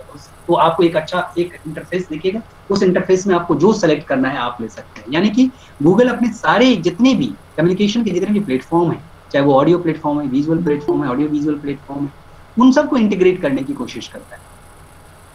और हम स्टूडेंट को एक प्रत्येक आप अपने नेम से उस क्लासरूम को क्रिएट कर सकते हैं। या किसी पेपर के नाम से आप क्लासरूम क्रिएट कर सकते हैं। तो वो डिपेंड करता है कि आपकी क्या नीड है और स्टूडेंट की क्या नीड है और किस तरीके से कैटेगराइज बेहतर तरीके से किया जा सकता है। इसको आपको आ, सोचना है। तो ये हमारे लिए बहुत इंपॉर्टेंट है। Teachers what teachers can do देखिए टीचर जैसा कि मैंने बताया कि टीचर जो है, वो कंटेंट को क्रिएट कर सकता है कंटेंट को डिस्ट्रीब्यूट कर सकता है, साथ ही साथ मार्क भी असाइन कर सकता है। और एक गूगल का यदि देखा जाए तो गूगल का अपना एक इकोसिस्टम जिसमें मैंने बताया कि बहुत सारे सर्विसेज़ हैं गूगल उसके माध्यम से हमने सपोज़ गूगल क्लासरूम में एक हमने यूट्यूब से एक वीडियो लिया। उसका लिंक हमने कॉपी कर दिया और उसके लिंक जैसे मैंने कॉपी कर दिया और शेयर टू ऑल कर दिया तो और हमने कहा कि इस वीडियो को आपको देखना है और इस वीडियो का जो है, वो ब्रीफ एक आपको एक इसको समराइज करना है या इसका क्रिटिकल रिव्यू करना है।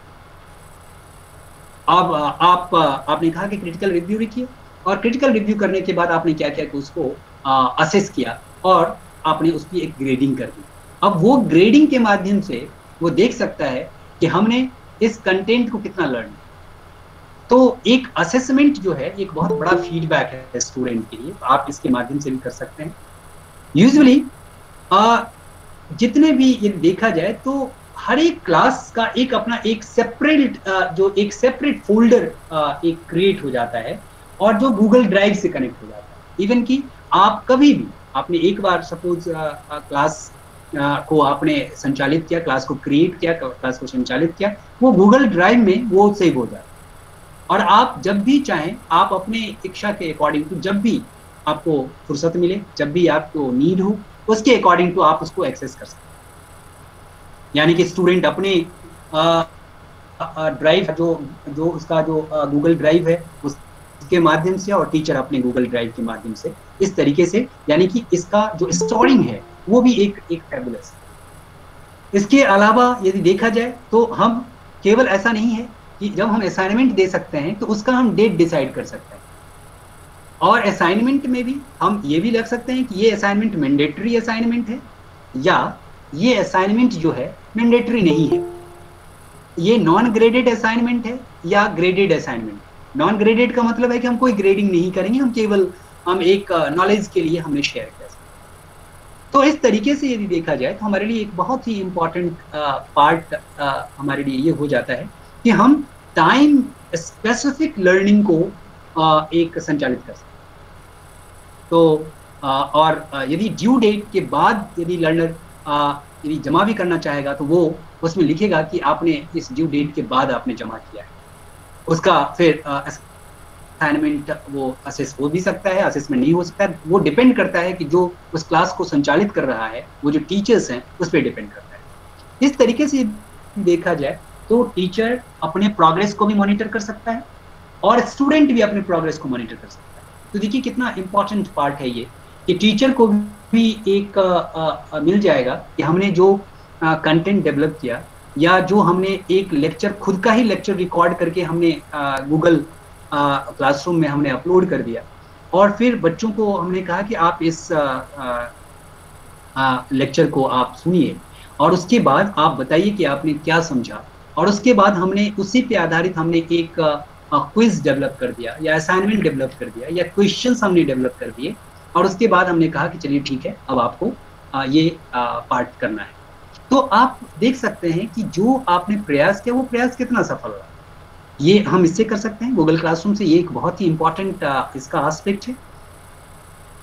और इसका ये नहीं है कि केवल लैपटॉप के माध्यम से या किसी वेब ब्राउज़र के माध्यम से बल्कि आप मोबाइल से चाहे वो एंड्रॉइड हो चाहे आईफोन यानी कि जो आई ऑपरेटिंग सिस्टम है और एंड्रॉइड दोनों पे आ, आप इसको रन करने की आ, इसमें पोटेंशियल तो आप गूगल प्ले स्टोर में जा करके आप गूगल क्लासरूम को आप डाउनलोड कर सकते हैं। आप उसको डाउनलोड करके और फिर आप क्लासरूम किसी को ज्वाइन करवाने के लिए आप कोड भेज भेज भेज सकते हैं थ्रू व्हाट्सएप के माध्यम से या थ्रू ईमेल के माध्यम से। आप कर सकते हैं क्योंकि ये बेहतर होगा कि क्लासरूम क्रिएट करने से पहले आप जितने भी लर्नर के जो कॉन्टैक्ट नंबर हैं, चाहे उनकी ईमेल आईडी वो आपके पास रहना चाहिए ताकि आप एक बेटर कम्युनिकेशन और आप एकदम बिल्कुल एक एक्यूरेट कम्युनिकेशन कर सकते हैं। तो ये एक आप मोबाइल के थ्रू भी और वेब ब्राउज़र के माध्यम से भी, यानी कि यदि देखा जाए तो डेस्कटॉप और लैपटॉप के माध्यम से भी आप इसको संचालित कर सकते हैं। तो यदि देखा जाए तो Google Classroom as a smart class क्यों? जैसा कि पूर्व में भी बताया गया कि गूगल क्लासरूम जो Google Drive Google Docs Google Sheets Google Slides Gmail सबको एक साथ कन्वर्ज करके हम गूगल क्लासरूम को संचालित कर सकते हैं। तो ये एक देखा जाए तो एक ये पेपरलेस सिस्टम देता है। यानी कि एक ये देखा जाए तो ये एक ग्रीन लर्निंग को भी प्रोवाइड करता है। यदि देखा जाए तो यदि देखा जाए तो लर्नर के लिए कितना अच्छा होगा कि केवल और केवल वो यदि कुछ टीचर कुछ कंटेंट डेवलप कर सकता है और यदि लर्नर ने भी कुछ कंटेंट शेयर किया है तो वो दोनों के लिए किसी भी समय में वो उसकी यूजेबिलिटी रहती है। नहीं तो आपको हार्ड कॉपी जो भी होते हैं उनको संभालना कितना मुश्किल होता है आपके लिए। तो ये भी एक बेहतर एक आ, ये है। गूगल कैलेंडर इवन कि गूगल कैलेंडर को आप ये कर सकते हैं कि आपको कब कौन सा लेक्चर होगा या कौन सा लेक्चर कब अपलोड होगा। इवन कि इसमें यदि देखा जाए तो गूगल क्लासरूम में आप कन्वर्जेंस के मॉडल पे आप डायरेक्टली एक वेबकास्टिंग भी कर सकते हैं, या आप एक डायरेक्ट जो जिस तरीके से अभी हम लोग गूगल मीट के थ्रू कर रहे हैं तो गूगल मीट का आपने लिंक लिया और आपने गूगल क्लासरूम के उस नोटिफिकेशन वाले उसमें या से टू समथिंग उसके कॉलम में आपने उसको उस कॉपी को आपने पेस्ट उस लिंक को आपने पेस्ट कर दिया। और फिर वहाँ से आप लर्नर से आप फिजिकली मतलब ऑनलाइन के माध्यम से आप कम्युनिकेट कर सकते हैं। मीन्स क्या?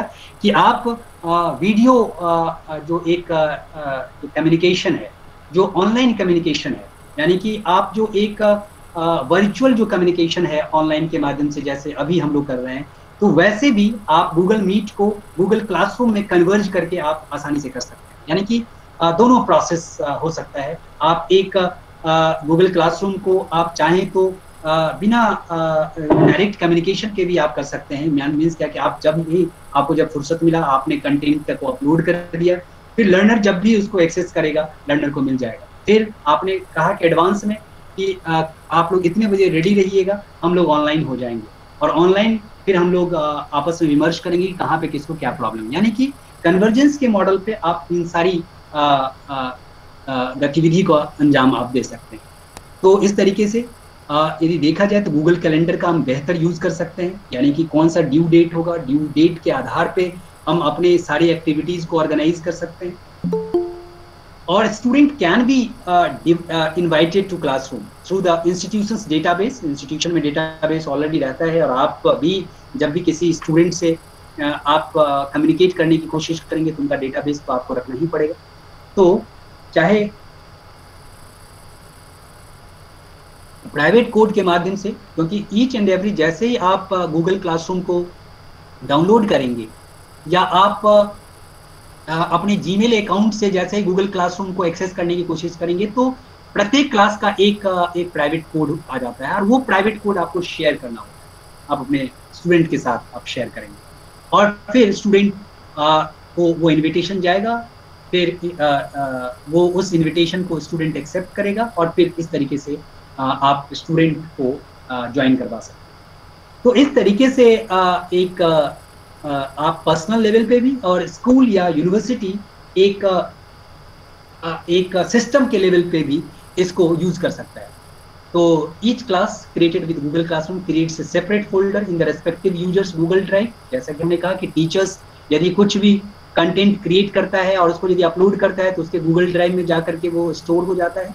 और स्टूडेंट भी इस तरीके से जब कुछ मटेरियल शेयर करता है तो वो उसके ड्राइव में चला जाता है। और फिर हम आ, दोनों के आ, आ, उसको हम देख सकते हैं जब वो शेयर कर दिया जाता है।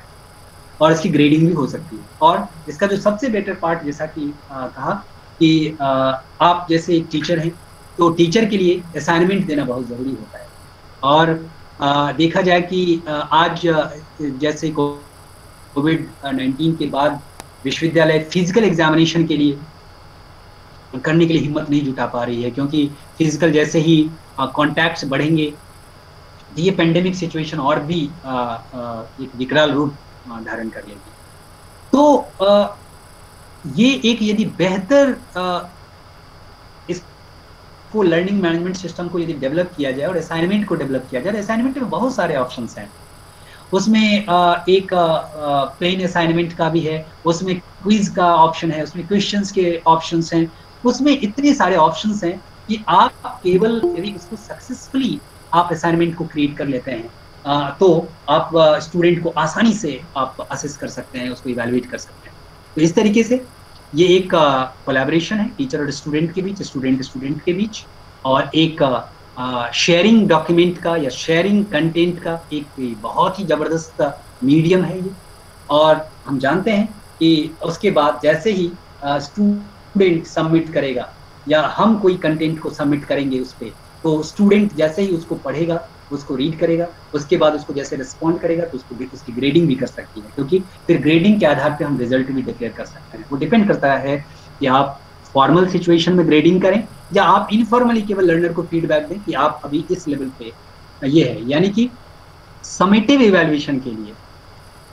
और देखा जाए तो एक एक फॉर्मेटिव इवेल्युएशन के लिए, जिसको सीसीई भी कहते हैं कॉम्प्रिहेंसिव एंड कंटिन्यूस इवेल्युएशन के लिए भी आप ये असाइनमेंट का यूज़ कर सकते हैं, जो कि एक बहुत ही वंडरफुल इसका एप्लीकेशन मीन्स क्या? कि टीचर्स में use a file that can then be treated as a template so that every student can edit their own copy and then turn back in for a grade instead of allowing all students to view.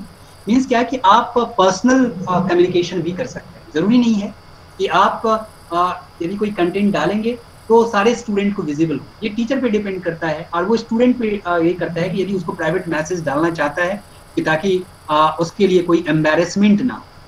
क्योंकि हम जानते हैं कि कभी कभी जो student भी होता है वो अपने रेस्पॉन्स को या अपने आंसर को दूसरों को शेयर नहीं करना चाहता, वो केवल टीचर के साथ शेयर करना चाहता है। ये क्योंकि एक ह्यूमन टेंडेंसी है। क्योंकि आप अपने टीचर के साथ ही आप अपनी समस्या को बताने की कोशिश करते हैं। आप दूसरों के साथ अपनी समस्या नहीं बताते हैं, क्योंकि आप जानते हैं समस्या हम दूसरे के साथ यदि शेयर करें तो वो हमारी नौकरी न करें तो ये भी एक मैकेनिज्म इसमें है कि आप प्राइवेट कम्युनिकेशन भी कर सकते हैं स्टूडेंट स्टूडेंट और टीचर और ग्रेडिंग का जैसा कि आपको बताया गया है Google Classroom supports many different grading systems teachers have the options to इसमें आप बेसिकली इसकी खूबसूरती क्या है कि आप ग्रेडिंग के लिए रिब्रिक डेवलप कर सकते हैं कि किस तरीके से आप असेस करो आप किस तरीके से इवेलुएट करेंगे। असेसमेंट और इवेल्युएशन का क्राइटेरिया आप पहले से डिक्लेयर कर सकते हैं ताकि स्टूडेंट को बिल्कुल क्लियर हो जाए कि आ, किस तरीके से हमारे टीचर हमारे इस कंटेंट को असेस करने जा रहे हैं। तो आप रिबरिक डेवलप कर सकते हैं असेसमेंट के ताकि पहले से ही क्लियर हो जाए कि हमारे टीचर हम हमारा असेसमेंट इस तरीके से करना चाहते हैं। हम जानते हैं कि टीचिंग लर्निंग के का जो असेसमेंट का जो गेम है उस गेम का रूल पहले से डिफाइन हो क्योंकि आप गेम स्टार्ट होने के बाद आप आ, आ, आ, गेम डिफाइन नहीं कर सकते। और रूल डिफाइन नहीं कर सकते। तो इसीलिए गेम स्टार्ट करने से पहले आपको रूल डिफाइन करना तो इसके लिए एक इंपॉर्टेंट पार्ट ये है कि आप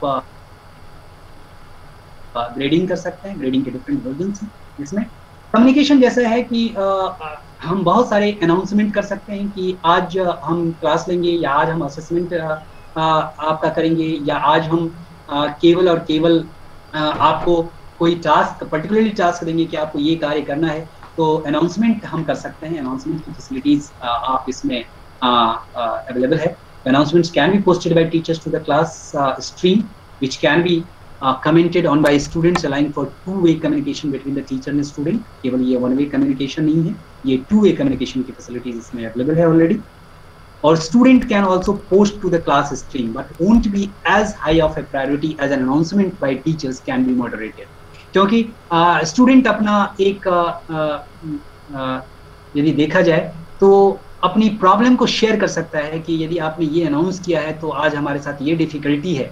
तो टीचर उसको उसको कंसिडर भी कर सकता है कि हाँ यदि चलो ठीक है कि यदि मेजोरिटी ऑफ़ स्टूडेंट के साथ आज किसी पर्टिकुलर डेट में असेसमेंट में यदि कोई प्रॉब्लम हो रहा है तो हम दूसरा डेट फिक्स कर सकते हैं। मीन क्या की फ्लेक्सिबिलिटी है। और मल्टीपल यदि देखा जाए तो types of media from Google product such as YouTube videos, google drive files can be attached to announcements and post to share content gmail also provides email options for teachers to send emails to one or more students. आप uh, one या many के साथ Gmail के through भी आप interact कर सकते हैं। वो फैसिलिटीज़ आप उसमें ऑलरेडी अवेलेबल है। और जैसा कि आपको कहा गया था कि classroom can be accessed on the web और वाया द एंड्रॉइड एंड जो आई ऑपरेटिंग सिस्टम है क्लासरूम मोबाइल एप्स के भी माध्यम से आप इसको कर सकते हैं।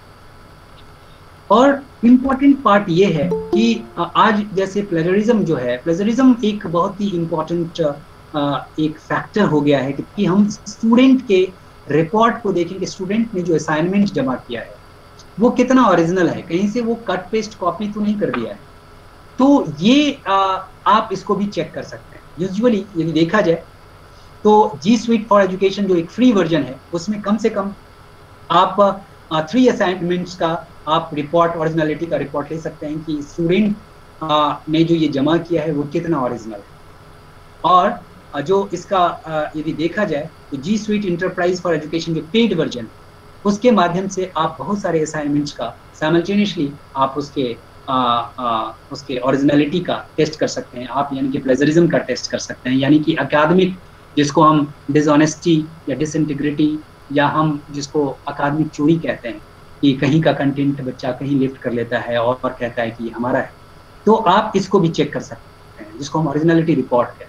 तो originality report allows to educators and students to see the parts and sections of the work which contains the exact or similar wording to that of another source for students it highlights source material and flags missing citation even की जैसे ही उसका एक plagiarism का scanning करेगा तो उसमें जो भी साइटेशन बच्चे ने नहीं लिखा है।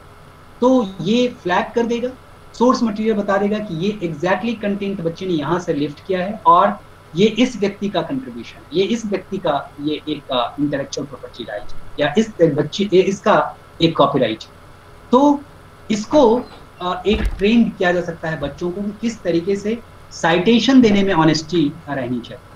तो teacher can also view the originality report allowing them to verify the academic integrity of the students क्योंकि एकेडमिक इंटीग्रिटी जो है अकादमिक जो शुचिता है अकादमिक शुचिता का होना बहुत आवश्यक है, और इसको हम ये कर सकते हैं। और नो डाउट आर्काइव कोर्स है मीन्स क्या, यदि देखा जाए तो यदि सपोज़ कि आपको लग रहा है कि वो क्लास जो है, अब समाप्त हो गया है, और आपने सपोज़ कि ट्वेंटी डेज़ या थर्टी डेज़ या समथिंग आपने किसी पर्टिकुलर सब्जेक्ट के साथ आपने उस क्लास को ये किया है, आप उसको अपने आर्काइव में रख सकते हैं। और इसका बेनिफिट क्या होगा कि आप उसको फिर से रिस्टोर कर सकते हैं कि ताकि यदि आपको, आपके सामने कोई दूसरा बैच आए तो आप इसी तरीके से आप उसी फॉर्मेट पे आप उसी कंटेंट को रीयूज कर सकते हैं। यानी कि इसका रीयूजिंग फैसिलिटीज़ भी है, जो आपके मेहनत को बचा सकता है। आप उसको कंटेक्चुलाइज कर सकते हैं, थोड़ा सा रीमोडिफाई कर सकते हैं। इस तरीके से देखा जाए तो classroom allows instructors to archive courses at the end of a term or year semester and यदि है तो आप यदि आपको लग रहा है कि जिस क्लासरूम को आपने कंडक्ट किया है, इस तरीके से आप इसको archive कर सकते हैं। और when a course is archived, teacher and students can view it, but won't be able to make any changes to it until it is restored. जब तक उसको restore नहीं किया जाएगा। और इस तरीके से मोबाइल एप्लीकेशंस जैसा कि मैंने बताया ही आपको कि Google Classroom mobile apps introduce किया गया जनवरी 2015 में। और जो कि आई फ़ोन में भी और जितने भी एंड्रॉइड डिवाइसेस हैं, वो सब में ऑलरेडी इसका इसको आप डाउनलोड कर सकते हैं। और इस तरीके से यदि देखा जाए तो जो जो जी सूट फॉर एडुकेशन है उसमें एक ये बेहतर ऑप्शन है एप्लीकेशन से तो यदि इन टोटो यदि हम इसे कंक्लूड करें तो लगता है कि ये एक पेपरलेस क्लासरूम को एक, ये प्रमोट करता है। ये जितने भी गूगल के जो प्रोडक्ट्स हैं, वहाँ तक ये हमारी एक्सेस को बना लेता है। और उसके बियॉन्ड यदि कोई और दूसरा लिंक भी आप शेयर करना चाहते हैं, या आप दूसरा कोई, आप इस तरीके से आप ये कर सकते हैं, वो भी आप इसमें इंटीग्रेट कर सकते हैं। और इंस्टेंट कोलैबोरेशन हो सकता है बिटवीन टीचर्स एंड स्टूडेंट्स आपको लग रहा है कि एक ही क्लासरूम में हम तीन चार टीचर को बुलाएँ तो आप टीचर को भी ऐड कर सकते हैं। और आप यूजली देखा जाए तो आप केवल और केवल जो मल्टीपल टीचर्स एक अपने स्पेशलाइजेशन के अकॉर्डिंग टू इसमें जुड़ सकते हैं और एक ये बहुत इंटरेस्टिंग काइंड ऑफ़ टीचिंग होगा। तो एक टीचर टू टीचर एक एक टीचर के साथ साथ बहुत सारे टीचर्स को हम ऐड कर सकते हैं और इवन स्टूडेंट को तो हम ऐड कर सकते हैं। ये यानी कि बहुत ही सिंपल टू सेटअप है और ये मनी भी सेविंग है और for teachers being able to better track as a student progress ये एक यदि देखा जाए तो गूगल क्लासरूम का एक एक इंपॉर्टेंट आस्पेक्ट है।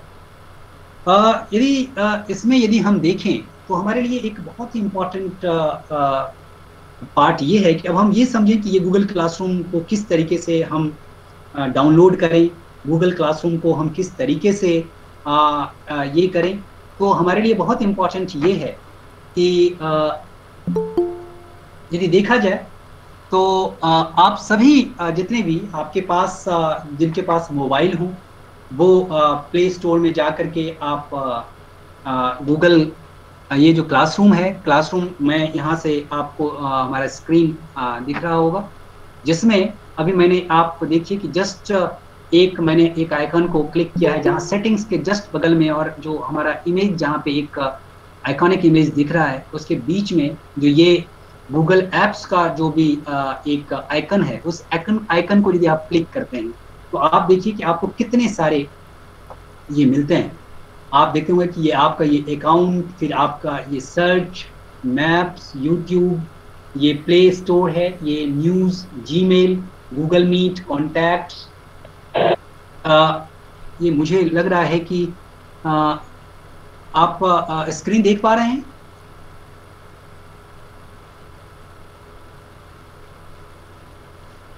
हेलो जी जी जी सर है। सर हाँ ओके आ, तो इस तरीके से यदि देखा जाए तो आ, आप आ, इस गूगल क्लासरूम को आ, इस ऐप को जैसा कि मैंने आपको बताया कि आप यहाँ से जा करके और आप ये देखिए कि इसका जो ये आइकॉन है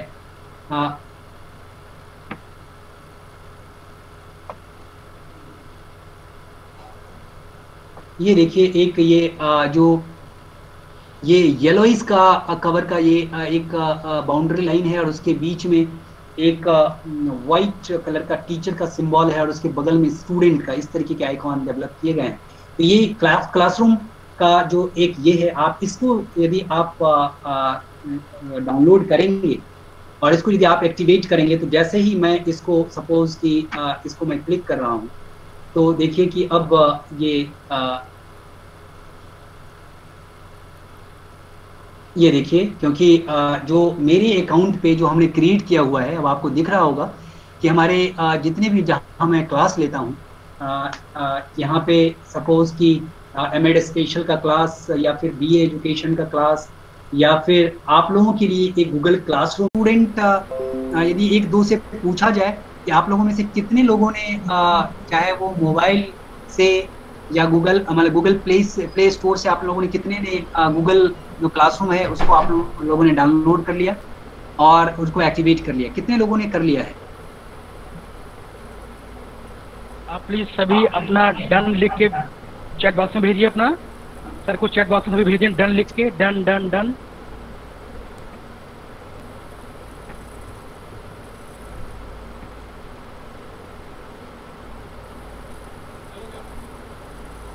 हाँ काफ़ी काफ़ी जैसे डॉक्टर रीना डॉक्टर अखिलेश अंजू गुप्ता जी गीता चौधरी काफ़ी लोगों ने डंडन करके मैंने कर लिया है। आ, बहुत बढ़िया। Classroom activated already. Doctor Amrita Chaudhary काफ़ी लोगों ने आ, कर लिया है।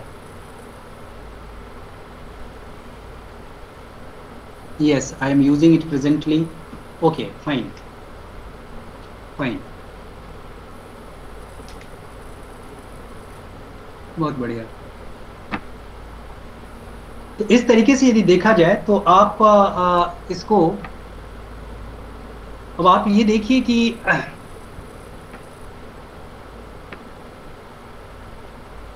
अब यहाँ पे मैं सपोज़ कि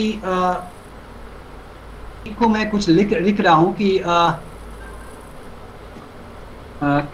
गुड आपको बताया कि यदि आप अपने स्टूडेंट को जो आपने क्लासरूम क्रिएट किया गया है तो प्रत्येक क्लास का एक कोड होता है, वो कोड आपको शेयर करना पड़ेगा थ्रू ईमेल के थ्रू या थ्रू व्हाट्सएप के थ्रू बच्चा क्या होगा कि जैसे ही गूगल को ये करेगा, उसमें एक प्लस का ऑप्शन आता है, उस प्लस में क्रिएट क्लास जैसे ही आप गूगल क्लासरूम को जैसे आप डाउनलोड करेंगे तो उसमें दो ऑप्शन आएगा क्रिएट क्लास या ज्वाइन क्लास तो एज ए यदि आप कहीं स्टूडेंट के रूप में या पार्टिसिपेंट के रूप में तो आप केवल ज्वाइन करेंगे। और यदि आप कोई create class as a teacher के रूप में क्रिएट करना चाहते हैं तो आप क्रिएट करेंगे। जैसे आप क्लास क्रिएट करेंगे तो प्रत्येक क्लासरूम का अपना एक क्लास कोड और उस क्लास कोड को आपको शेयर करना पड़ेगा पार्टिसिपेंट्स और फिर जैसे ही आप शेयर करते हैं स्टूडेंट फिर ज्वाइन करते हैं और उसके ज्वाइनिंग के बाद आपको आ, आ, आ, उसमें यदि देखा जाए तो जैसे आप ज्वाइन करवा देंगे उनको तो आप उसके अकॉर्डिंग टू आप पहले से एक यदि देखा जाए तो एक नॉर्मल कम्युनिकेशन कीजिए कि ताकि ये पता चल जाए कि कितने लोग जैसे आपके डैशबोर्ड पे दिखेगा कि कितने लोग जुड़ गए हैं। लेकिन आप एक एक नॉर्मल कम्युनिकेशन ज़रूर स्टार्ट कर दीजिए ताकि स्टूडेंट के कंफर्ट स्टूडेंट का आपकी स्क्रीन शो नहीं कर रहा है।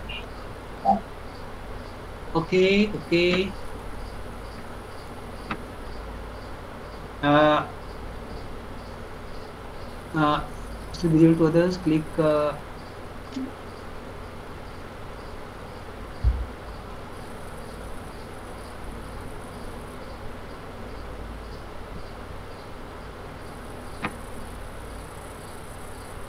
screen share हो रहा है? सर बहुत No. छोटा दिख रहा है क्लियर नहीं हो रहा। ओके ओके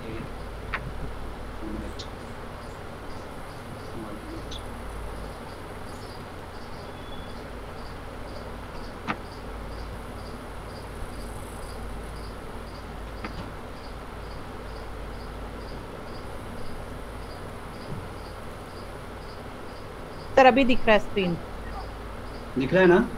हाँ जी. आ, ये अब दिख रहा है गूगल क्लासरूम यस सर दिख रहा है. तो यहाँ पे देखिए कि अब आप इसका जो सबसे इम्पोर्टेंट पार्ट है कि जैसे ही आपने कर लिया तो क्लास कोड आ जाता है और क्लास कोड आपको शेयर करना पड़ेगा। ये क्लासरूम क्लास कोड तभी होगा जब आपने क्लासरूम को क्रिएट किया है। जब क्लासरूम ज्वाइन करना होगा तो किसी दूसरे से कोई जो टीचर होगा या जो मेन प्रेजेंटर होगा, वो आपको क्लास कोड शेयर करेंगे। तो यहाँ पे जो, जैसे मैंने इसका नाम रखा है, जैसे आप लोगों ने डाउनलोड किया होगा, उसमें बहुत सारे डिटेल आपको मांगे होंगे। प्रिलिमिनरी डिटेल की क्लासरूम का नाम क्या रखना चाहते हैं, आप कौन सा सेक्शन है। मीन्स क्या कि इसमें हम, आप इसको अपने अकॉर्डिंग टू नेमिंग कर सकते हैं, उसके सेक्शन का नाम रख सकते हैं। सिलेबस वाइज रख सकते हैं कंटेंट वाइज रख सकते हैं। आप जो भी है, वो आप अपने अकॉर्डिंग टू ताकि कैटेगराइजेशन में और क्लासिफिकेशन में सहूलियत हो। नहीं तो अदरवाइज़ केवल आप अपने नेम से केवल करेंगे तो हो सकता है कि कैटेगराइज करने में आपको जब आप आर्काइव भी करेंगे तो आपके लिए बड़ा मुश्किल होगा। तो कोशिश ये कीजिए कि जो कंटेंट है या जो पेपर वाइज है पेपर वाइज यदि या जो भी किसी पर्टिकुलर कंसर्न के साथ आप कोई क्लासरूम डेवलप करना चाहते हैं तो आप उसका यदि नाम रखें तो आपको क्लासिफिकेशन के लिए और कैटेगराइजेशन के लिए आपके लिए आसान और फिर क्लास कोड आपने शेयर कर दिया और आप स्टूडेंट या पार्टिसिपेंट सब ज्वाइन कर लिए जैसा कि मैंने यहाँ पे लिखा है good evening today we will learn about Google Classroom और यहाँ पे यदि देखा जाए तो अब यहाँ पे ये भी मांग रहा है कि आप आ, क्या क्या ऐड कर सकते इसमें कोई इसमें तीन चीज़ आ रहा है गूगल ड्राइव मीन्स क्या? कि गूगल ड्राइव से यदि कोई कंटेंट आप लेना चाहते हैं आ, ये भी आप यहाँ पे इंट्रोड्यूस कर सकते हैं। कोई लिंक आप यदि लेना चाहते हैं तो आप यहाँ पे लिंक शेयर कर सकते हैं। कोई फ़ाइल यदि आपके सिस्टम में पड़ा हुआ है तो आप उस फ़ाइल को अपलोड कर सकते हैं और यहाँ पे यूट्यूब यानी कि यूट्यूब से भी कोई वीडियो आप शेयर कर सकते हैं। इस तरीके से आप इस नोटिफिकेशन में इनका प्रयोग भी कर सकते हैं और फिर आप मान लिया जाए कि यहाँ पे हमने आ, आ, किसी फ़ाइल को शेयर अब यहाँ पे ये कह रहा है कि insert files using Google Drive या शेयर ड्राइव्स या रीसेंट या अपलोड अब यहाँ पे एक आ रहा है, आप देखते होंगे कि drag files here select files from your device अब हमने सपोज़ कि जिस कंटेंट को सपोज़ मैंने शेयर किया है आप लोगों के साथ अभी, ये गूगल क्लासरूम पीपीटी एक्स हमने इसको ये किया ओपन किया अब यहाँ पे वो ऐड हो गया। अब अब हमें इसको अपलोड करना है। अब ये ग्रेजुअली अपलोड हो रहा है। अब ये आपने देखा कि यहाँ पे ये आ चुका है गूगल क्लासरूम पीपीटी एड और यहाँ पे यदि हम इसको अब पोस्ट का आता है, अब ये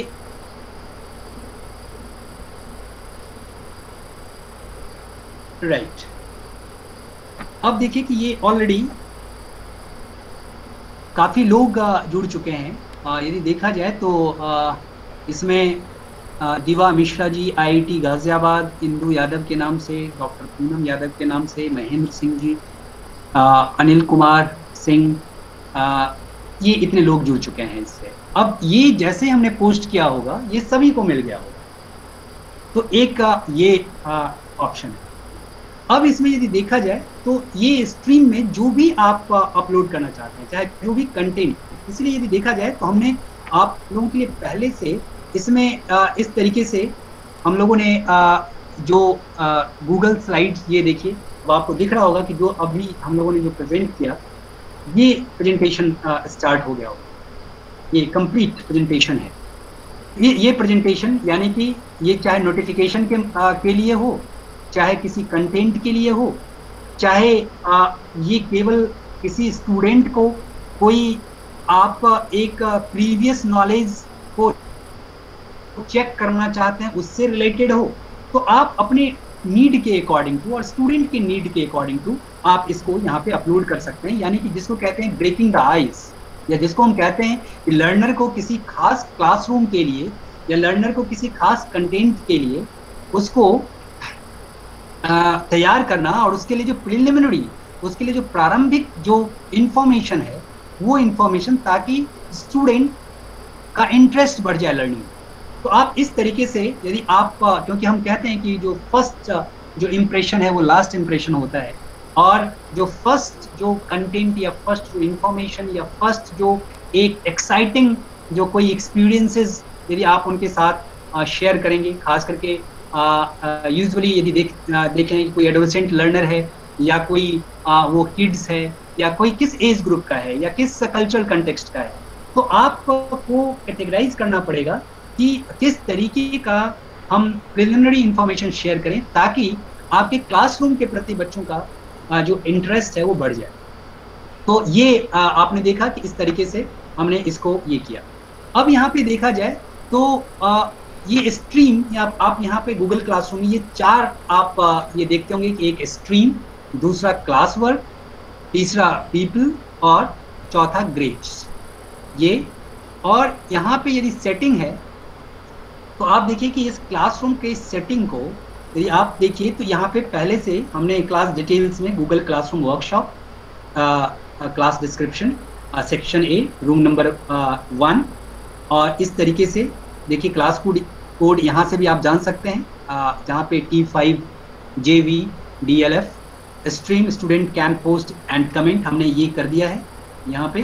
देखिए यहाँ पे आ, एक ऑप्शन है कि student can post and comment यानी कि पोस्ट भी कर सकते हैं कमेंट भी कर सकते हैं। अब यहाँ पे दूसरा ऑप्शन ये भी है कि स्टूडेंट कैन ओनली कमेंट ये आपको डिपेंड करना है कि आप किस तरीके की लिबर्टी देना चाहते हैं और किस तरीके से आप एक बाउंड्री क्रिएट करना चाहते हैं। और ओनली टीचर्स कैन पोस्ट और कमेंट क्योंकि एक यदि आप देखा जाए कि एक बिल्कुल एक डेमोक्रेटिक आप यदि करना चाहते हैं तो आपको एक राइट देना पड़ेगा स्टूडेंट क्योंकि ताकि स्टूडेंट पोस्ट कर सके कमेंट भी कर सके। आपको लग रहा होगा कि केवल एक हमें इंफॉर्मेशन देना है स्टूडेंट के फीडबैक की कोई ज़रूरत नहीं है तो आपको केवल ओनली टीचर्स कैन पोस्ट और कमेंट और जहाँ पे मल्टीपल टीचर्स होंगे तो मल्टीपल टीचर्स को आपको ये एक आ, एक ऑथराइज करना पड़ेगा क्योंकि इसमें आपने देखा होगा कि ओनली टीचर्स भी है, केवल टीचर नहीं है। यानी कि आप बहुत अधिक टीचर्स को भी एक से अधिक टीचर्स को भी आप इसमें ऐड कर सकते हैं। और classroom on the stream show condensed notification यहाँ पे देखिए एक दो तरीके का है। एक तो शो अटैचमेंट एंड डिटेल्स जो भी आप अपलोड करेंगे, ये अटैचमेंट भी दिखेगा। शो कंडेंस्ड नोटिफिकेशन और हाइड नोटिफिकेशन यानी कि इन तीनों ऑप्शन में से किस तरीके से आप अपने क्लासरूम को ऑर्गेनाइज करना चाहते हैं ये ये ये है। आ, और फिर शो डिलीटेड आइटम्स अब यहाँ पे देखिए यहाँ पे आ, हमने शो डिलीटेड आइटम्स जैसे ही हमने यहाँ पे चेंज किया तो यहाँ पे आ, देखते होंगे कि ये सेव का ऑप्शन आ रहा है। यदि हम ऐसा करेंगे क्योंकि पहले से हमने सेट एक दूसरे तरीके से किया हुआ है क्योंकि हमने अभी शो डिलेटेड आइटम्स में यहाँ पे ऑप्शन मैंने चेंज किया तो यहाँ पे सेव मांग रहा है। लेकिन मैं इसको आ, आ, पुराने कंडीशन में ही ले जा रहा हूँ और इसको मैं सेव कर रहा हूँ। अब इस तरीके से यदि देखा जाए तो आपके सामने ये आ, ये एक स्ट्रीम का ऑप्शन है। और अब स्ट्रीम में आप आ, आ, समझ गए होंगे कि यदि कोई नोटिफिकेशन शेयर करना हो आपको कोई कंटेंट अपलोड करना हो आपको कोई ऑडियो वीडियो लेक्चर अपलोड करना हो आपको जो भी अपलोड करना होगा वो आप स्क्रीन के थ्रू आप ये कर सकते हैं कंटेंट फिर क्लास वर्क जो है अब यहाँ पे यदि देखिए देखा जाए तो हमारे लिए एक बहुत इंपॉर्टेंट पार्ट है कि जैसे आप क्लास वर्क क्लास वर्क करते हैं तो यहाँ पे आप देखिए कि आ, एक गूगल कैलेंडर भी है। यानी कि आप इसको डेट वाइज आप इसको प्लान कर सकते हैं। कि किस डेट में हमको क्या करना है किस डेट का क्या आ, आ, ये होगा।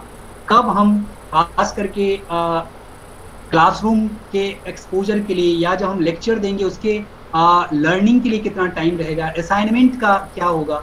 आपने यदि यहाँ पे देखा होगा तो आ, जैसे हमने मंडे 15 को क्वेश्चंस गूगल क्लासरूम का हमने असाइनमेंट इंट्रोडक्शन ये सारा कम्प्लीटली इसमें ये डिटेल्ड है।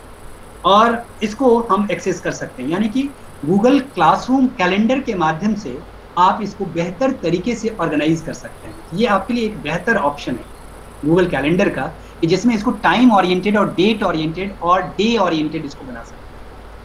और इसके साथ साथ जो ये जो सबसे इंपॉर्टेंट इसका जो फीचर है, वो ये है क्रिएट अब इसमें आप असाइनमेंट क्रिएट कर सकते हैं। आप इसमें देखिए क्विज असाइनमेंट आप दे सकते हैं। आप इसमें क्वेश्चन दे सकते हैं। आप इसका आ, आप कोई मटेरियल शेयर कर सकते हैं। और जो भी कोई पोस्ट आपने आ, पहले आ, आपने आ, ये किया था उस पोस्ट को आप फिर से रीयूज कर सकते हैं। तो इतने सारे पोर्शन ऑप्शन हैं। और इस ऑप्शन को यदि हम देखें एक एक करके तो हमें पता चलेगा कि किस तरीके से जैसे हम लेते हैं असाइनमेंट कि किस तरीके से हम असाइनमेंट का ये करेंगे। अब असाइनमेंट का टाइटल क्या होगा? मान लिया जाए कि असाइनमेंट का टाइटल है introduction to introduction to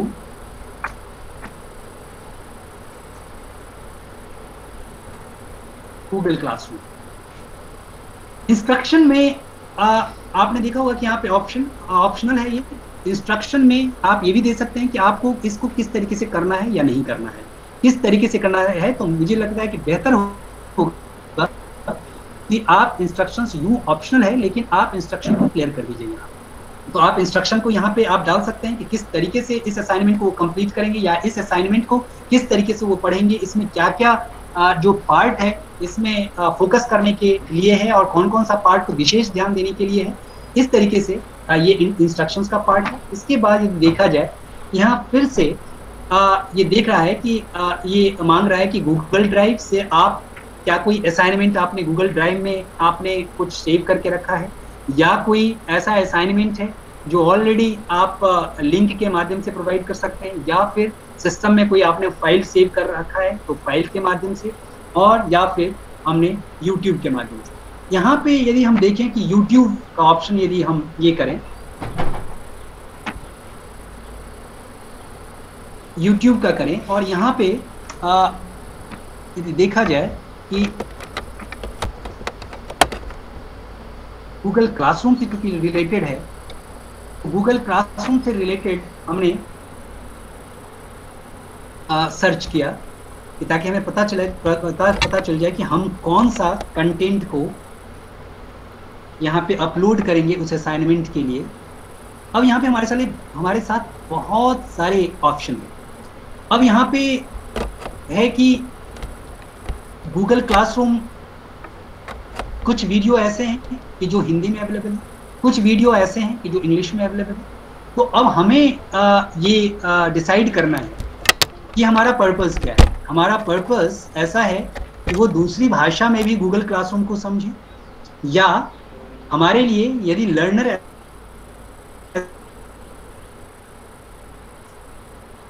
ऐसा है कि उसको केवल सपोज़ इंग्लिश ही समझ में आती है तो हम इंग्लिश का ऑप्शन चूज़ कर लेंगे। क्वेश्चन पे हम ऐसा नहीं कर सकते कि हम कोई भी लिंक यहाँ पे अपलोड कर देंगे। सबसे पहले आपको पहले से एक प्लानिंग करना पड़ेगा कि हमें असाइनमेंट में ये वीडियो हमें अपलोड करना है। ऐसा नहीं कि हम यहाँ पे आकर के डिसाइड करें। क्योंकि आप एज ए बेटर रिज़ल्ट चाहते हैं तो आपको सबसे पहले आप कोई भी ऐसा वीडियो अपलोड मत कीजिए जिसको आपने शुरू से लेकर के अंत तक आपने देखा नहीं हो आपने एनालाइज नहीं किया। क्योंकि कभी कभी होता है क्या कि हम बहुत हड़बड़ी में होते हैं और हम आ, एक ऐसा वीडियो अपलोड कर देते हैं कि हो सकता है कि वो बहुत ज़्यादा कंटेक्चुअल नहीं है। लगता है गूगल क्लासरूम है लेकिन उसके अंदर कौन सा कंटेंट है? जो मेजर कंसिड्रेशन है कि सपोज़ यहाँ पे वीडियो है, लेकिन कुछ ऐसे इंग्लिश हैं कि जिसका एक्सेंट आपको समझ में नहीं आ रहा है। कुछ ऐसे फॉरेनर्स के भी वीडियोस इसमें अवेलेबल हैं कि जहाँ पे आपको लग रहा है कि हमारे लर्नर को ये एक्सेंट ही समझ में नहीं आया कुछ ऐसे हैं कि जो हिंदी में तो हिंदी में भी कुछ ऐसे लर्नर हैं कि जो हिंदी और इंग्लिश में थोड़ी बहुत कमांड है, दोनों में कमांड है। हमें ऐसा देखना चाहिए क्या कोई बायलिंगुअल है? यदि हम ऐसा देखेंगे कि इंग्लिश बिल्कुल नहीं समझ में आती है तो हम हिंदी वाला मीन्स क्या? यहाँ पे अपलोड करने के अपेक्षा जो सबसे अधिक इम्पोर्टेंस इस बात का है कि आप सबसे पहले असेस करें, आप सबसे पहले इवेलुएट करें कि आपके लर्नर के लिए कौन सा सुटेबल ये सबसे इम्पोर्टेंट है। तो हम मान लिया जाए कि हम एक ऐसा ये वीडियो सेलेक्ट करते हैं और यहाँ पे आप देखते होंगे कि आप यहाँ पे ऐड का ऑप्शन आता है और हमने इसको ऐड कर दिया।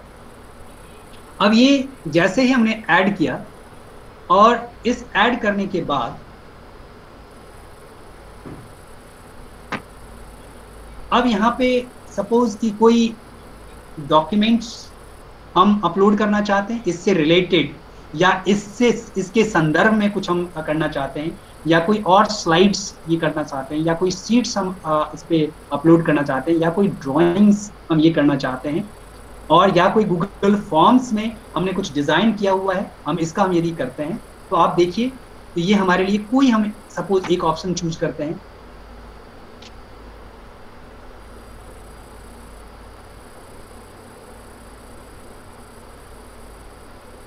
अब यहाँ पे देखिए कि हमने एक वीडियो सपोज़ अपलोड किया था और उस अपलोडिंग के बाद अब हम यूजुअली क्या करते हैं कि हम हमारे पास ये एक एक बेहतर बहुत अच्छा फीचर है बेसिकली आप उस वीडियो को सबसे पहले आपने देखा होगा और आप उससे रिलेटेड आप यहाँ पे क्वेश्चंस आप डालिए।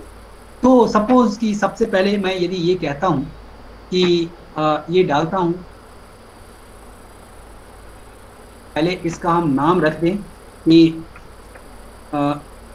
Google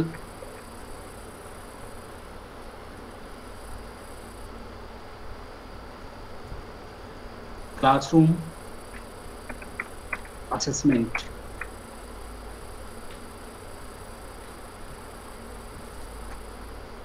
learning assessment अब यहाँ पे, अब आपके पास यहाँ पे देखिए कि बहुत सारे ऑप्शन हैं। अब आप यहाँ पे शॉर्ट आंसर में दे सकते हैं, आप पैराग्राफ में दे सकते हैं, आप मल्टीपल चॉइस में दे सकते हैं। क्योंकि शॉर्ट आंसर यदि आप सेलेक्ट करते हैं सपोज़ तो आप यहाँ पे क्वेश्चन आपने डाल दिया। Do you mean by L M S अब यहाँ पे देखिए, ये ऑप्शन है रिक्वायर्ड का। तो यदि आप इसको रिक्वायर्ड करते हैं यहाँ पे तो ईच एंड एवरी स्टूडेंट को इसका जवाब देना ही पड़ेगा। और यदि वो जवाब नहीं देता है तो फिर वो सबमिट ही नहीं हो पाएगा। तो इसीलिए ये हमारे लिए बहुत इंपॉर्टेंट है कि अब यहाँ पे what do mean by L ये हमने किया। अब अब ऑप्शन टू हमने यहाँ पे प्लस का ऑप्शन है। अब यहाँ पे ऑप्शन वन अब इसमें हमने यहाँ पे एक, आपने देखा होगा कि जैसे हमने रिक्वायर्ड किया, यहाँ पे एक, जो रेड एस्टेरिस्क है, जो रेड स्टार है, यहाँ पे ये हो गया, इसका मतलब ये मैंडेटरी क्वेश्चन है, इसको करना ही करना होगा। इसके बाद हमने एक मल्टीपल चॉइस का हम देखते हैं मेथड कि हमने लिखा कि learning L M S stands for, अब यहाँ पे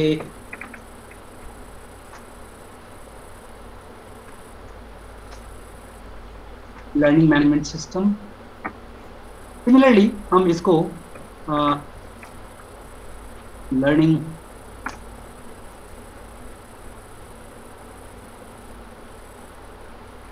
learning management uh,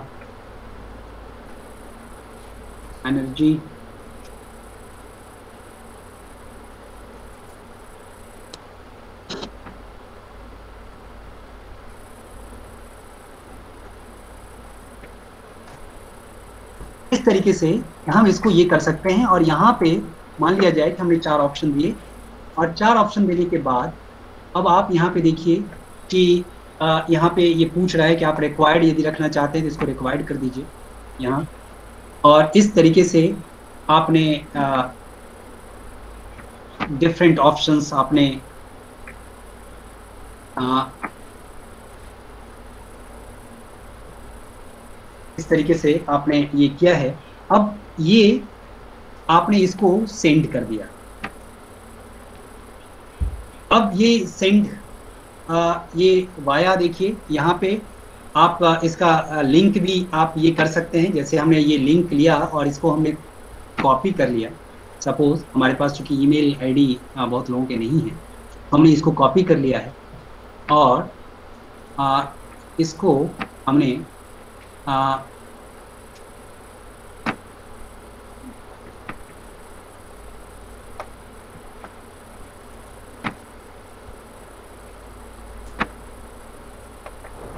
इसको हमने एक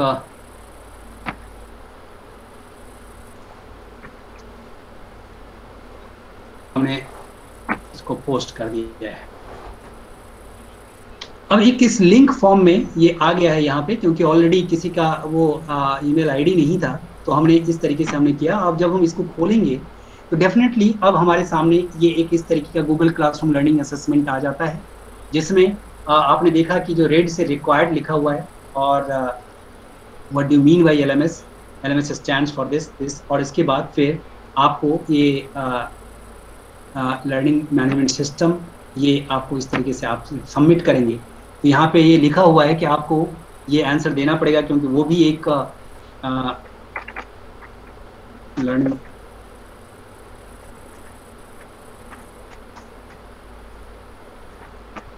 लर्निंग मैनेजमेंट सिस्टम इस तरीके से हमने दोनों का आंसर सपोज़ दिया हुआ है अब लिखा हुआ है कि your response has been recorded इस तरीके से एक तो ये तरीका है कि आप असाइनमेंट दे सकते हैं और असाइनमेंट को फिर आप असेस कर सकते हैं और उसको ग्रेड प्रदान कर सकते हैं। दूसरा क्लास वर्क का जो एक फ़ंक्शन है असाइनमेंट हमने देखिए क्विज कॉन्स क्विज असाइनमेंट ये देखिए बहुत इंपॉर्टेंट आस्पेक्ट है इसका।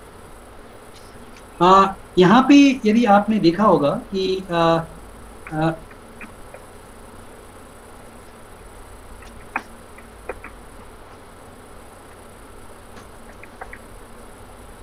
Google Classroom Management System.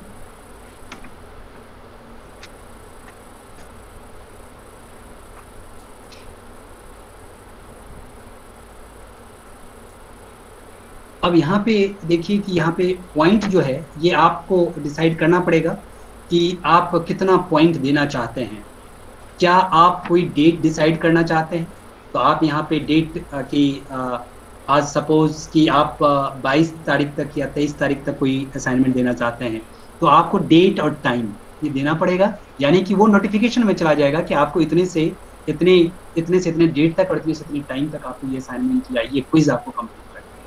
और उसके कितने पॉइंट्स हैं या कितने ग्रेड हैं, ये आपको देना पड़ेगा। आप इसको चेंज भी कर सकते हैं, आप इसको पेन कर सकते हैं, आप इसको यदि देखा जाए। तो आप इसको अपने अकॉर्डिंग टू इसको असेस कर सकते हैं।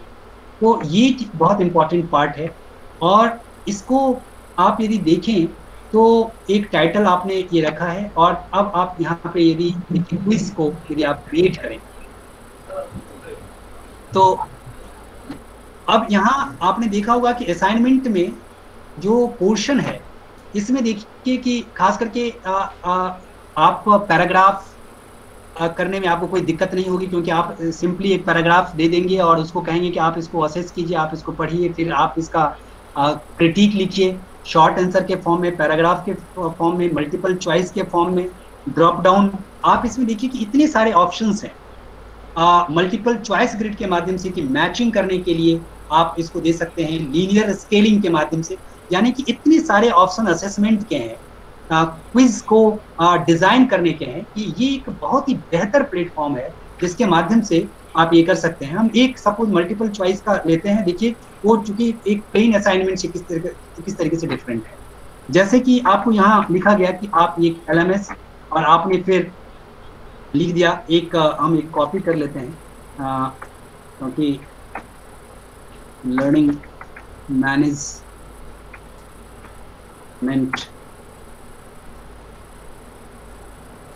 सिस्टम और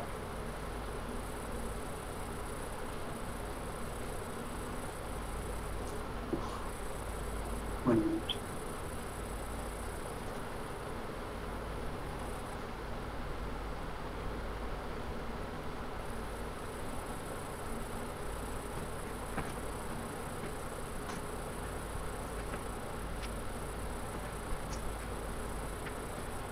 Learning management system इसमें आप ये कॉपी कीजिए और इसमें ऑप्शन आप डालते जाइए।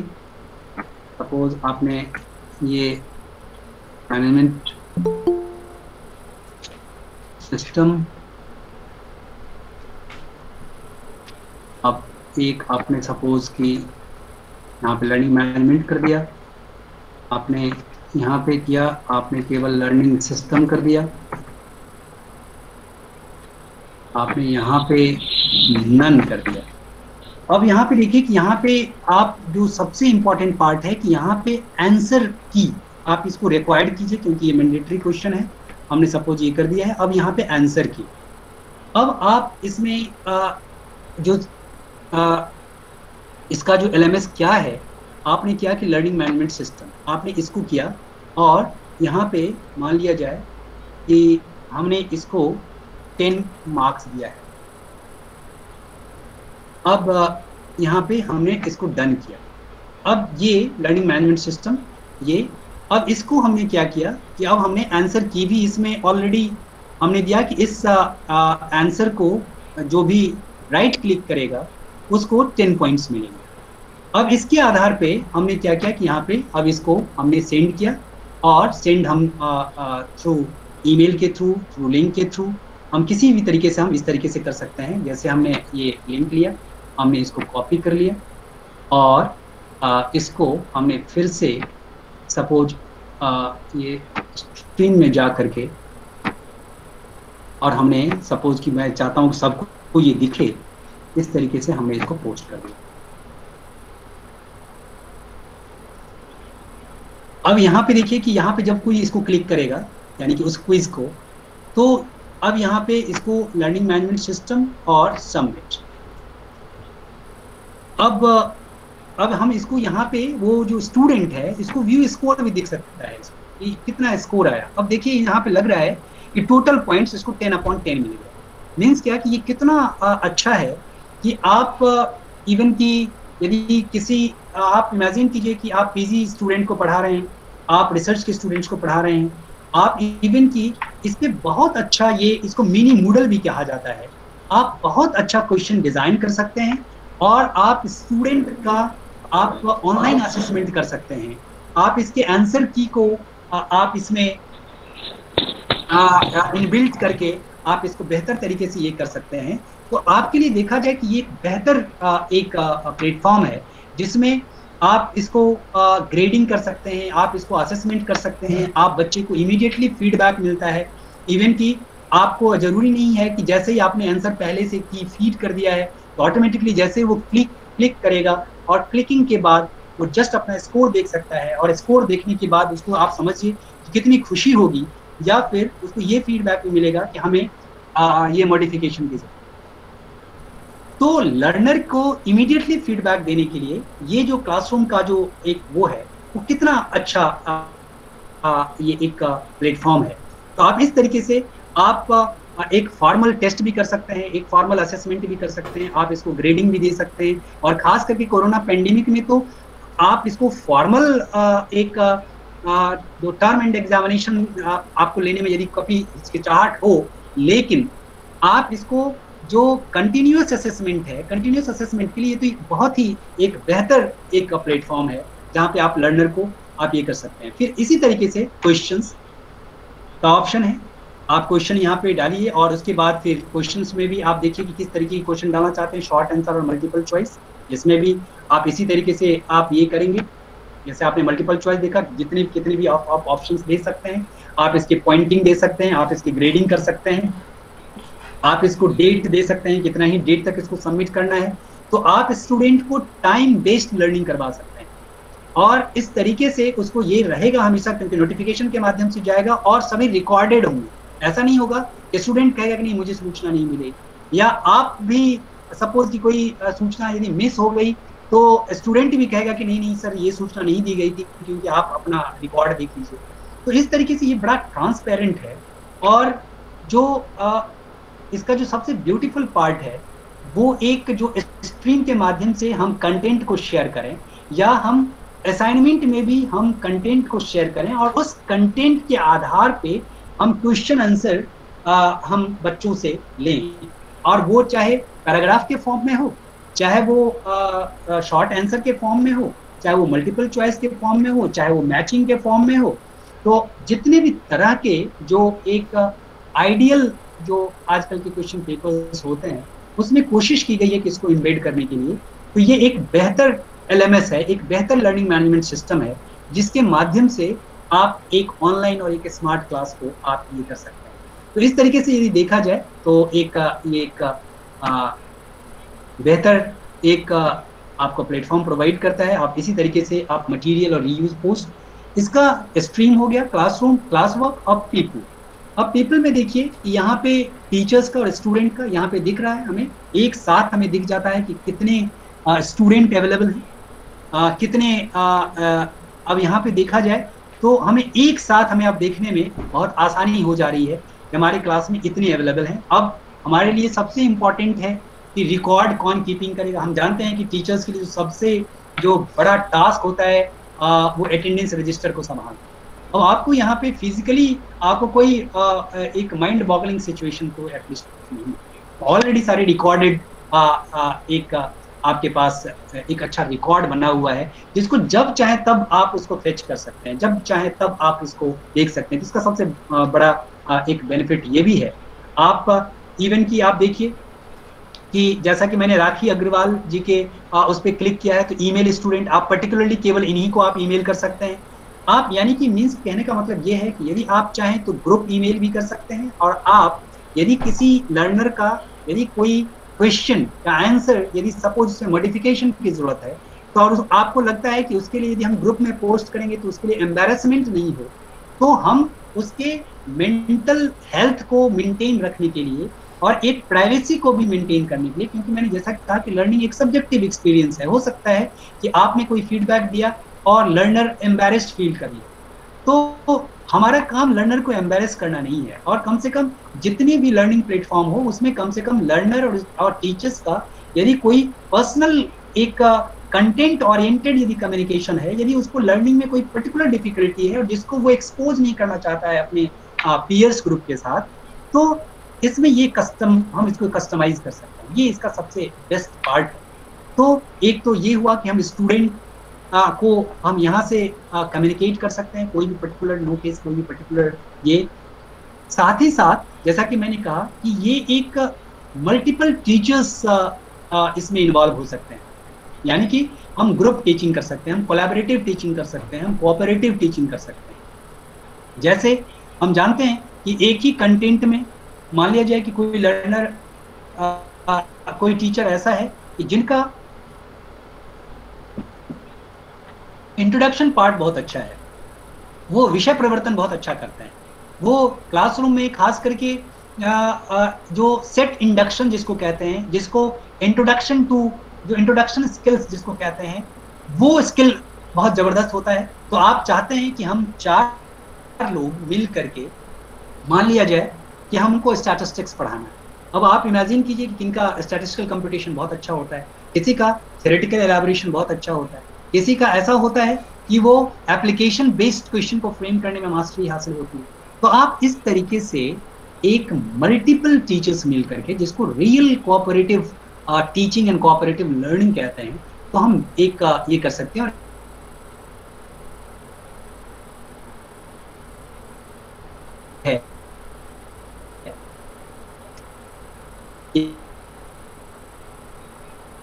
इनवाइट टीचर्स में आपने देखा कि अब इसमें ये ऊपर इसमें आप उनका पर्टिकुलर ईमेल आईडी आप टाइप नेम और ईमेल आप इसमें डालिए और पर्टिकुलरली उनको चला जाएगा आ, उनकी ईमेल पे कंफर्मेशन के लिए और फिर वो ज्वाइन का ऑप्शन क्लिक करके इसको ज्वाइन कर सकते हैं।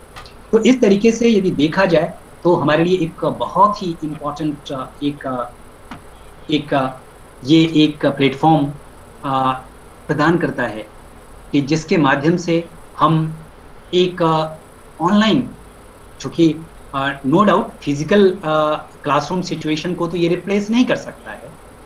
लेकिन, कहाँ पे इसकी ज़रूरत है?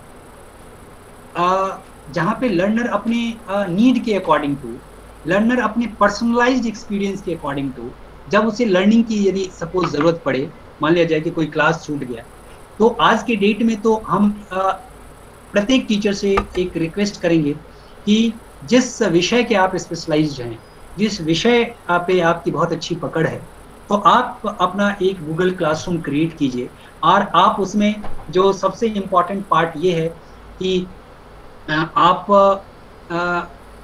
एक क्विज फ्रेम करके, आप असाइनमेंट बहुत अच्छे अच्छे फ्रेम करके, आप रिफ्लेक्टिव लेवल के क्वेश्चंस फ्रेम करके, आप बच्चों को एक नई दिशा में उनके लर्निंग को आप एक प्रमोट कर सकते हैं।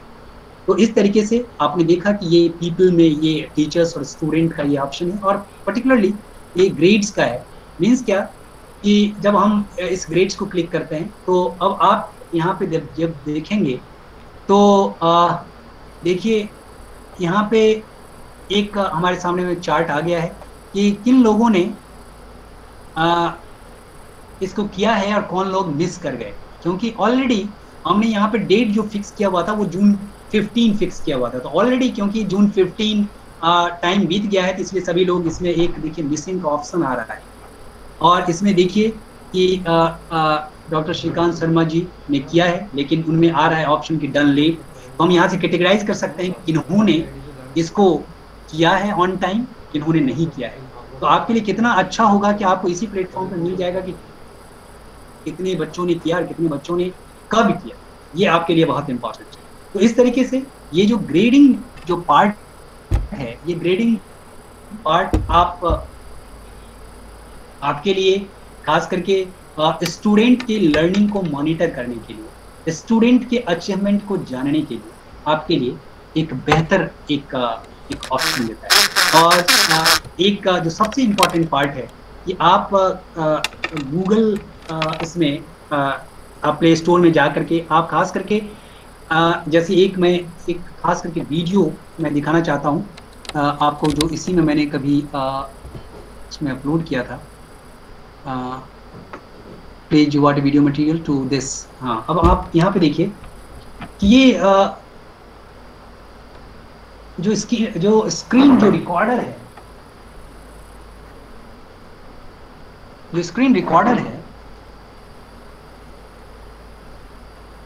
इस स्क्रीन रिकॉर्डर के माध्यम से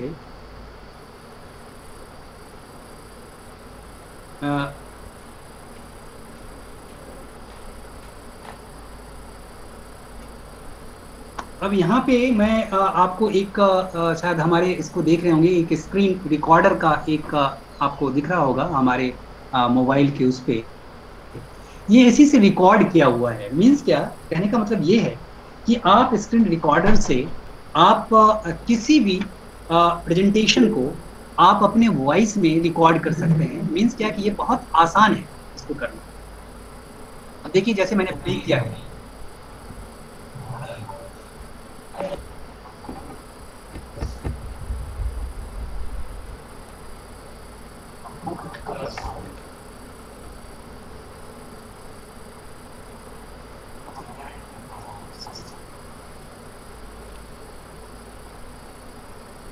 इस तरीके से आपके लिए बहुत अच्छा है आप अपने तरीके से इसको आप अपने तरीके से कस्टमाइज्ड वे में, आप अपनी ज़रूरत के अनुसार, अपने लर्नर की ज़रूरत के अनुसार, आप स्क्रीन रिकॉर्डर के माध्यम से आप रिकॉर्ड कर सकते हैं और उस रिकॉर्डिंग को आप इमीडिएटली अपलोड कर सकते हैं। इसमें बहुत सारी आपको एडिटिंग नहीं करनी पड़ेगी, क्योंकि आपका सपोज़ कि आप एक प्रोफेशनल की तरह यदि आप उसे बनाएँगे तो हो सकता है कि आपको वीडियो एडिटिंग में काफ़ी एक्सपर्टीज की ज़रूरत पड़ेगी, आपको काफ़ी उसमें मशक्क़त करनी होगी।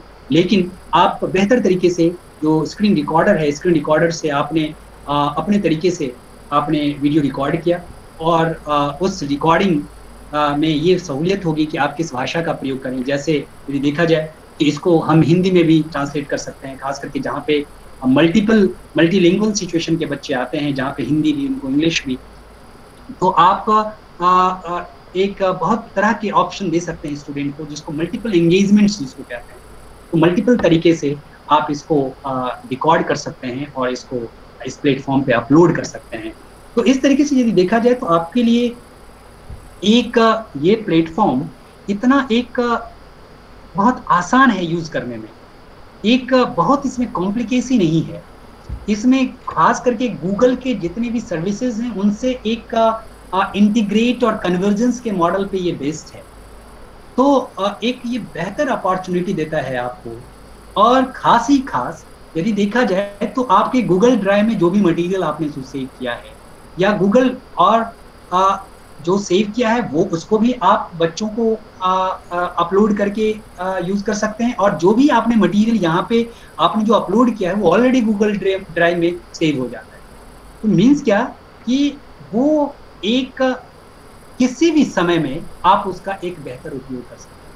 नहीं तो अदरवाइज़ क्या होता है कि आपके सामने आपको कहीं कोई लेक्चर देना है या आपको कहीं किस कोई साइट करना है कोई आ, ये लेक्चर आपको सुनना है और आपको उस समय में आपको मिल नहीं रहा है। तो आपको पता है कि हमने गूगल क्लासरूम में इसको रिकॉर्ड किया है वो ऑलरेडी गूगल ड्राइव पे भी अवेलेबल है। तो आप पर्टिकुलर यदि वो कंटेंट शेयर कर सकते हैं तो पर्टिकुलर कंटेंट वहीं से आप किसी को ईमेल करके उसको लिंक दे सकते हैं। या अदरवाइज़ आप गूगल क्लासरूम का वो प्राइवेट कोड दे करके बच्चों को आप कहते हैं कि उसमें जाओ और ये कंटेंट आप रीड करो।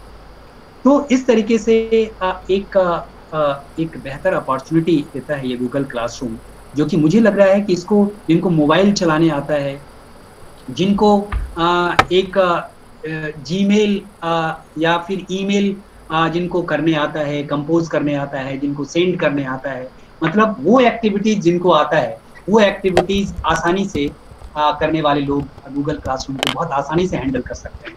और सबसे बेहतर पार्ट ये है इसका कि कुछ सावधानियाँ आपको बरतनी होंगी कि आप कौन सा कंटेंट डालें आप कैसे डालें आप किस तरीके से क्वेश्चंस को डिज़ाइन करें किस तरीके से क्वेश्चंस को रखें रिफ्लेक्टिव क्वेश्चंस कैसे होने चाहिए क्रिटिकल क्वेश्चंस कैसे होने चाहिए यानी कि जो कॉग्निटिव डोमेन के जितने भी लेवल्स हैं चाहे जिसको हम सबसे जो लोअर लेवल को नॉलेज लेवल कहते हैं, जो मेमोरी लेवल यानी कि मेमोरी लेवल के क्वेश्चन या फिर अंडरस्टैंडिंग लेवल के क्वेश्चन जिसको अवबोधात्मक प्रश्न कहते हैं। अंडरस्टैंडिंग लेवल के क्वेश्चन फिर यदि देखे जाए तो एप्लीकेशन लेवल के क्वेश्चन यानी कि अनुप्रयोग करने वाले, अनुप्रयोगात्मक क्वेश्चन यानी कि जैसे बच्चे को एक एग्ज़ाम्पल दें, और एग्ज़ाम्पल के माध्यम से कहें कि हम आपको बताना है कि इसमें कौन सी थियरी रिफ्लेक्ट हो रही है। तो इस तरीके से यदि देखा जाए तो आपने कोई एक फार्मूला दिया और उस फार्मूला के आप हमने कहा कि इसका डिफरेंट एप्लीकेशन लिए तो इस तरीके से नॉलेज अंडरस्टैंडिंग एप्लीकेशन एनालिसिस यानी कि विश्लेषणात्मक क्वेश्चन आप डाल करके आप उनको असेस कर सकते हैं, उनको प्रैक्टिस करवा सकते हैं एनालिटिकल क्वेश्चंस को रिस्पॉन्ड करने में और सिंथेटिक क्वेश्चंस और सिंथेटिक के बाद बाद जिसको कहते हैं इवेलुएटरी क्वेश्चंस या जिसको हम रिफ्लेक्टिव क्वेश्चंस भी कहते हैं।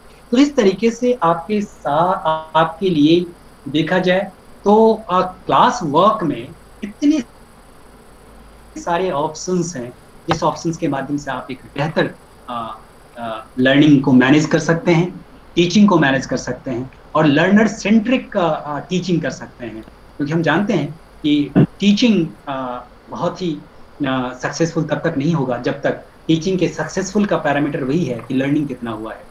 और लर्निंग जब तक मैनेज नहीं होगा, तब तक हम ये नहीं कह सकते कि लर्निंग प्रभावशाली मुझे लग रहा है कि एक कम समय में एक आप लोगों से कम्युनिकेट करने की कोशिश की गई है।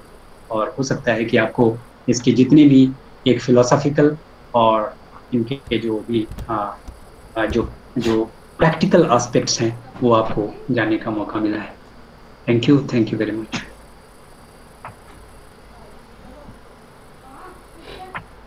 मित्रों तो अभी अभी एक दो लोगों ने कुछ प्रश्न किए थे। एक बार अपने प्रश्न पूछ लें आप लोग। अभी अपने पास समय है पाँच मिनट का।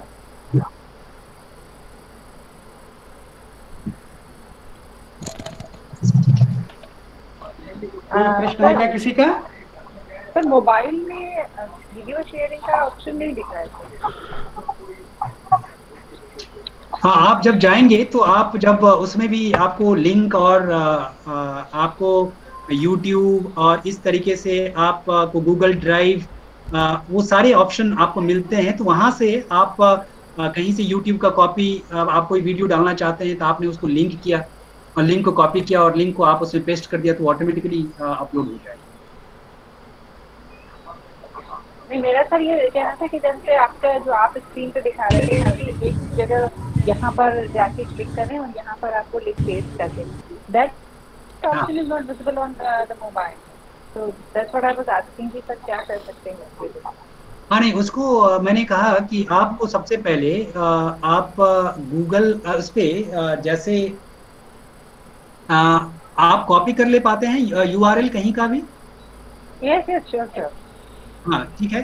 तो आप जैसे यूआरएल कॉपी कर लेंगे वो तो जहाँ पे आप से से समथिंग जहाँ पे लिखा हुआ है जैसे गूगल क्लास जैसे ही आप स्ट्रीम को क्लिक करेंगे तो से समथिंग जैसे ही है तो उसको आप वहाँ पे यदि आप थोड़ा सा प्रेस करेंगे स्क्रीन को तो पेस्ट का ऑप्शन आएगा और उसमें आप पेस्ट कर दीजिए Okay. Like we do in the text messaging as well. then. Okay okay Thank you, sir. Thank you very much. So how we connect it with the certificate, like the automatic certificate generation. So how we connect the Google Forms with the certificate?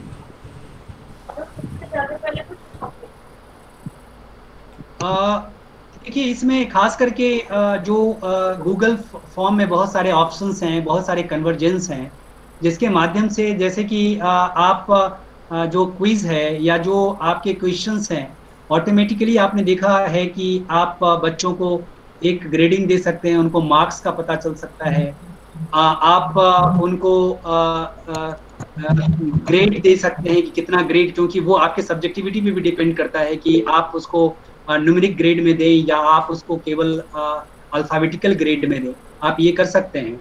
और Google form में भी बहुत सारे ऐसे options हैं जिसमें कल भी आपको एक जी स्वीट पे आप लोगों का वर्कशॉप है जिसमें आप पर्टिकुलरली मैंने उनको कहा है कि जो सर्टिफिकेट जनरेशन का और इस तरीके से जो प्रोसेस है जिसमें उस ग्रेडिंग को हम अ, अ, उस ग्रेडिंग के माध्यम से हम एक सर्टिफिकेट जनरेट भी कर सकते हैं। तो वो भी एक एक अच्छा ऑप्शन होगा धन sir one question please yes हाँ बताएँ। हेलो हाँ हाँ, सर मैं पूछना चाह रही थी जैसे कि अभी आपने बताया कि हम वीडियो अपलोड कर सकते हैं थ्रू यूट्यूब तो सपोज़ कोई वीडियो हमने ऑलरेडी सेलेक्ट करके हमारे सिस्टम पे सेव्ड है तो can we link that particular video through Google Classroom हाँ बिल्कुल कर सकते हैं। जैसे मैंने किया है जैसे आ, आ, एक जैसे कि जैसे फ़ाइल आपको सेलेक्ट करना है जैसे आपको आता है कि उसमें देख देखते होंगे आप कि उसमें जैसा कि मैं आपको अभी एक मेरे स्क्रीन पे भी आप देख पा रहे होंगे तो एक जैसे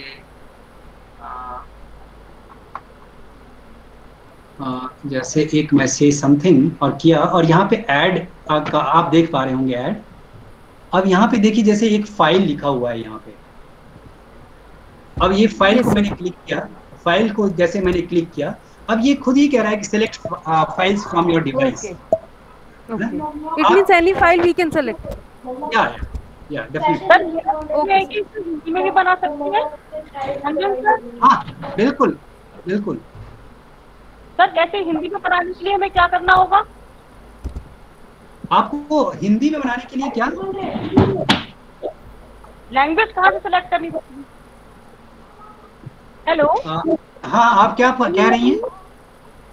हाँ मेरा प्रश्न है कि हमें इसे हिंदी में कन्वर्ट करने के लिए जो ये हमारा क्वेश्चन आंसर्स है या क्विज है तो उसके लिए हमें लैंग्वेज कहाँ से सेलेक्ट करनी पड़ेगी?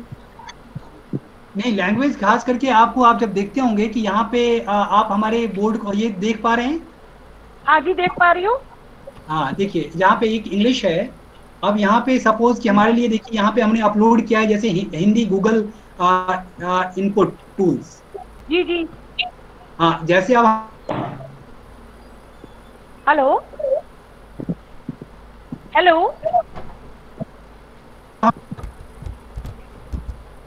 हेलो सर आवाज़ आ रही है आपको? हेलो इसको सेलेक्ट करते हैं सपोज़ यहाँ पे देखिए देखिए अब मैं शेयर कर रहा हूँ। मेरी आवाज़ नहीं आ रही है? मेरी आवाज़ आ रही है? सही है। आपकी आवाज़ आ रही है?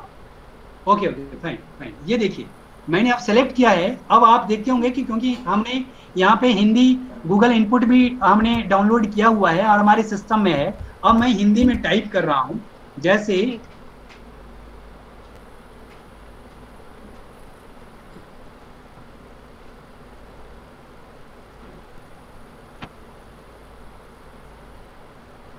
थोड़ा सा रिफ्रेश हो रहा है ये। हम्म। तो सर हिंदी के लिए हमें हिंदी डाउनलोड करना पड़ेगा अपने सिस्टम में। हाँ करना पड़ेगा नहीं तो अदरवाइज़ कैसे कर पाएँगे आप? जी और सर वो एक कोड जो आपने बताया था कि कोड तो वो कोड हर बार चेंज करना पड़ेगा? या जैसे ना, ना, हमें हर नहीं बार नहीं नहीं नहीं, एक बार आपने एक बार एक एक बार आपने क्लासरूम प्रत्येक क्लासरूम का वो एक कोड जो है वो परमानेंटली रहेगा। वो परमानेंटली रहेगा। तो जूम में जिस तरह से चेंज करना होता है कि हम हर बार क्लास लेने के लिए हमें लिंक दोबारा चेंज करना होगा वैसा कोई सिस्टम नहीं है इसमें। नहीं नहीं। आपको एक क्लासरूम जो आपने डेवलप किया है उसका क्लास कोड वही रहेगा और वही क्लास कोड के माध्यम से आप बच्चों को ऐड कर सकते हैं। क्योंकि क्लास तो हमेशा चेंज नहीं होता रहता है ना? जी जी जी। हाँ क्योंकि आपको नए क्लासरूम यदि आपको क्रिएट करने होंगे तो फिर नया कोड आ जाएगा। लेकिन यदि ये पुराना क्लास है तो आप ये D five J V D L F इस गूगल क्लासरूम का कोड ये रहेगा ही रहेगा। Okay okay thank you sir thank you very much अब देखिए आपको टाइप दिख रहा होगा गूगल हिंदी में? जी सर है। जी सर। यस हाँ दिख रहा है। आप इस तरीके से इसको कर सकते हैं। ठीक है ठीक है। थैंक यू वेरी मच धन्यवाद प्रोफेसर जी। सर एक हाँ, आर्काइव का ऑप्शन आप बताने के लिए कह रहे थे तो आर्काइव का ऑप्शन मिस हुआ है वो प्लीज़ बता दीजिएगा। एक मिनट।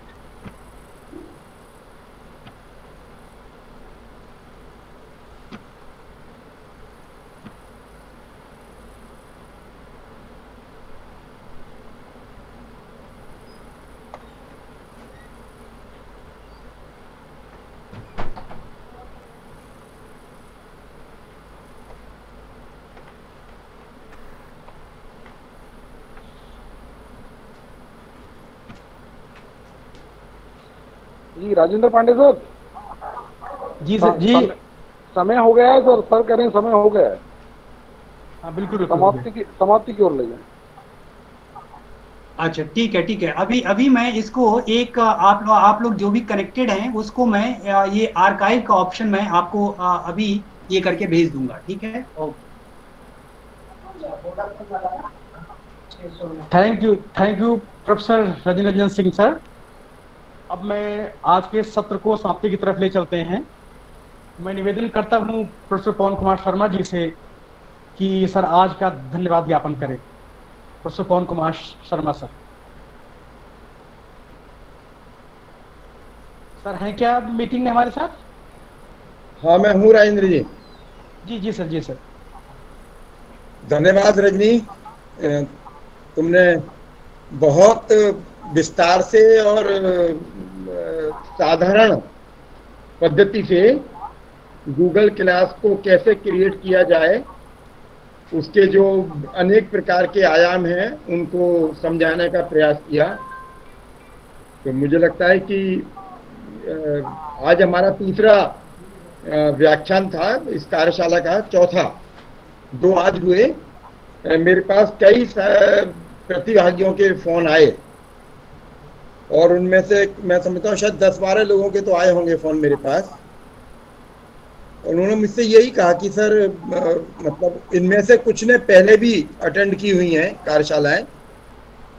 तो उन्होंने कहा कि, सर इस कार्यशाला का जो वैशिष्ट है, वह यह है कि यहाँ पर ना केवल व्याख्यान हो रहे हैं, बल्कि व्याख्यान के आधार पर एक्सरसाइज भी करवाई जा रही है। तो मैंने कहा, इसमें हमारा कोई योगदान नहीं है।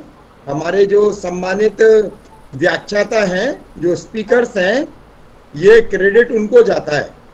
हमारा तो इतना बस भूमिका है कि जैसे वो शुक्र कहता है कि योजक जो है वो दुर्लभ होता है।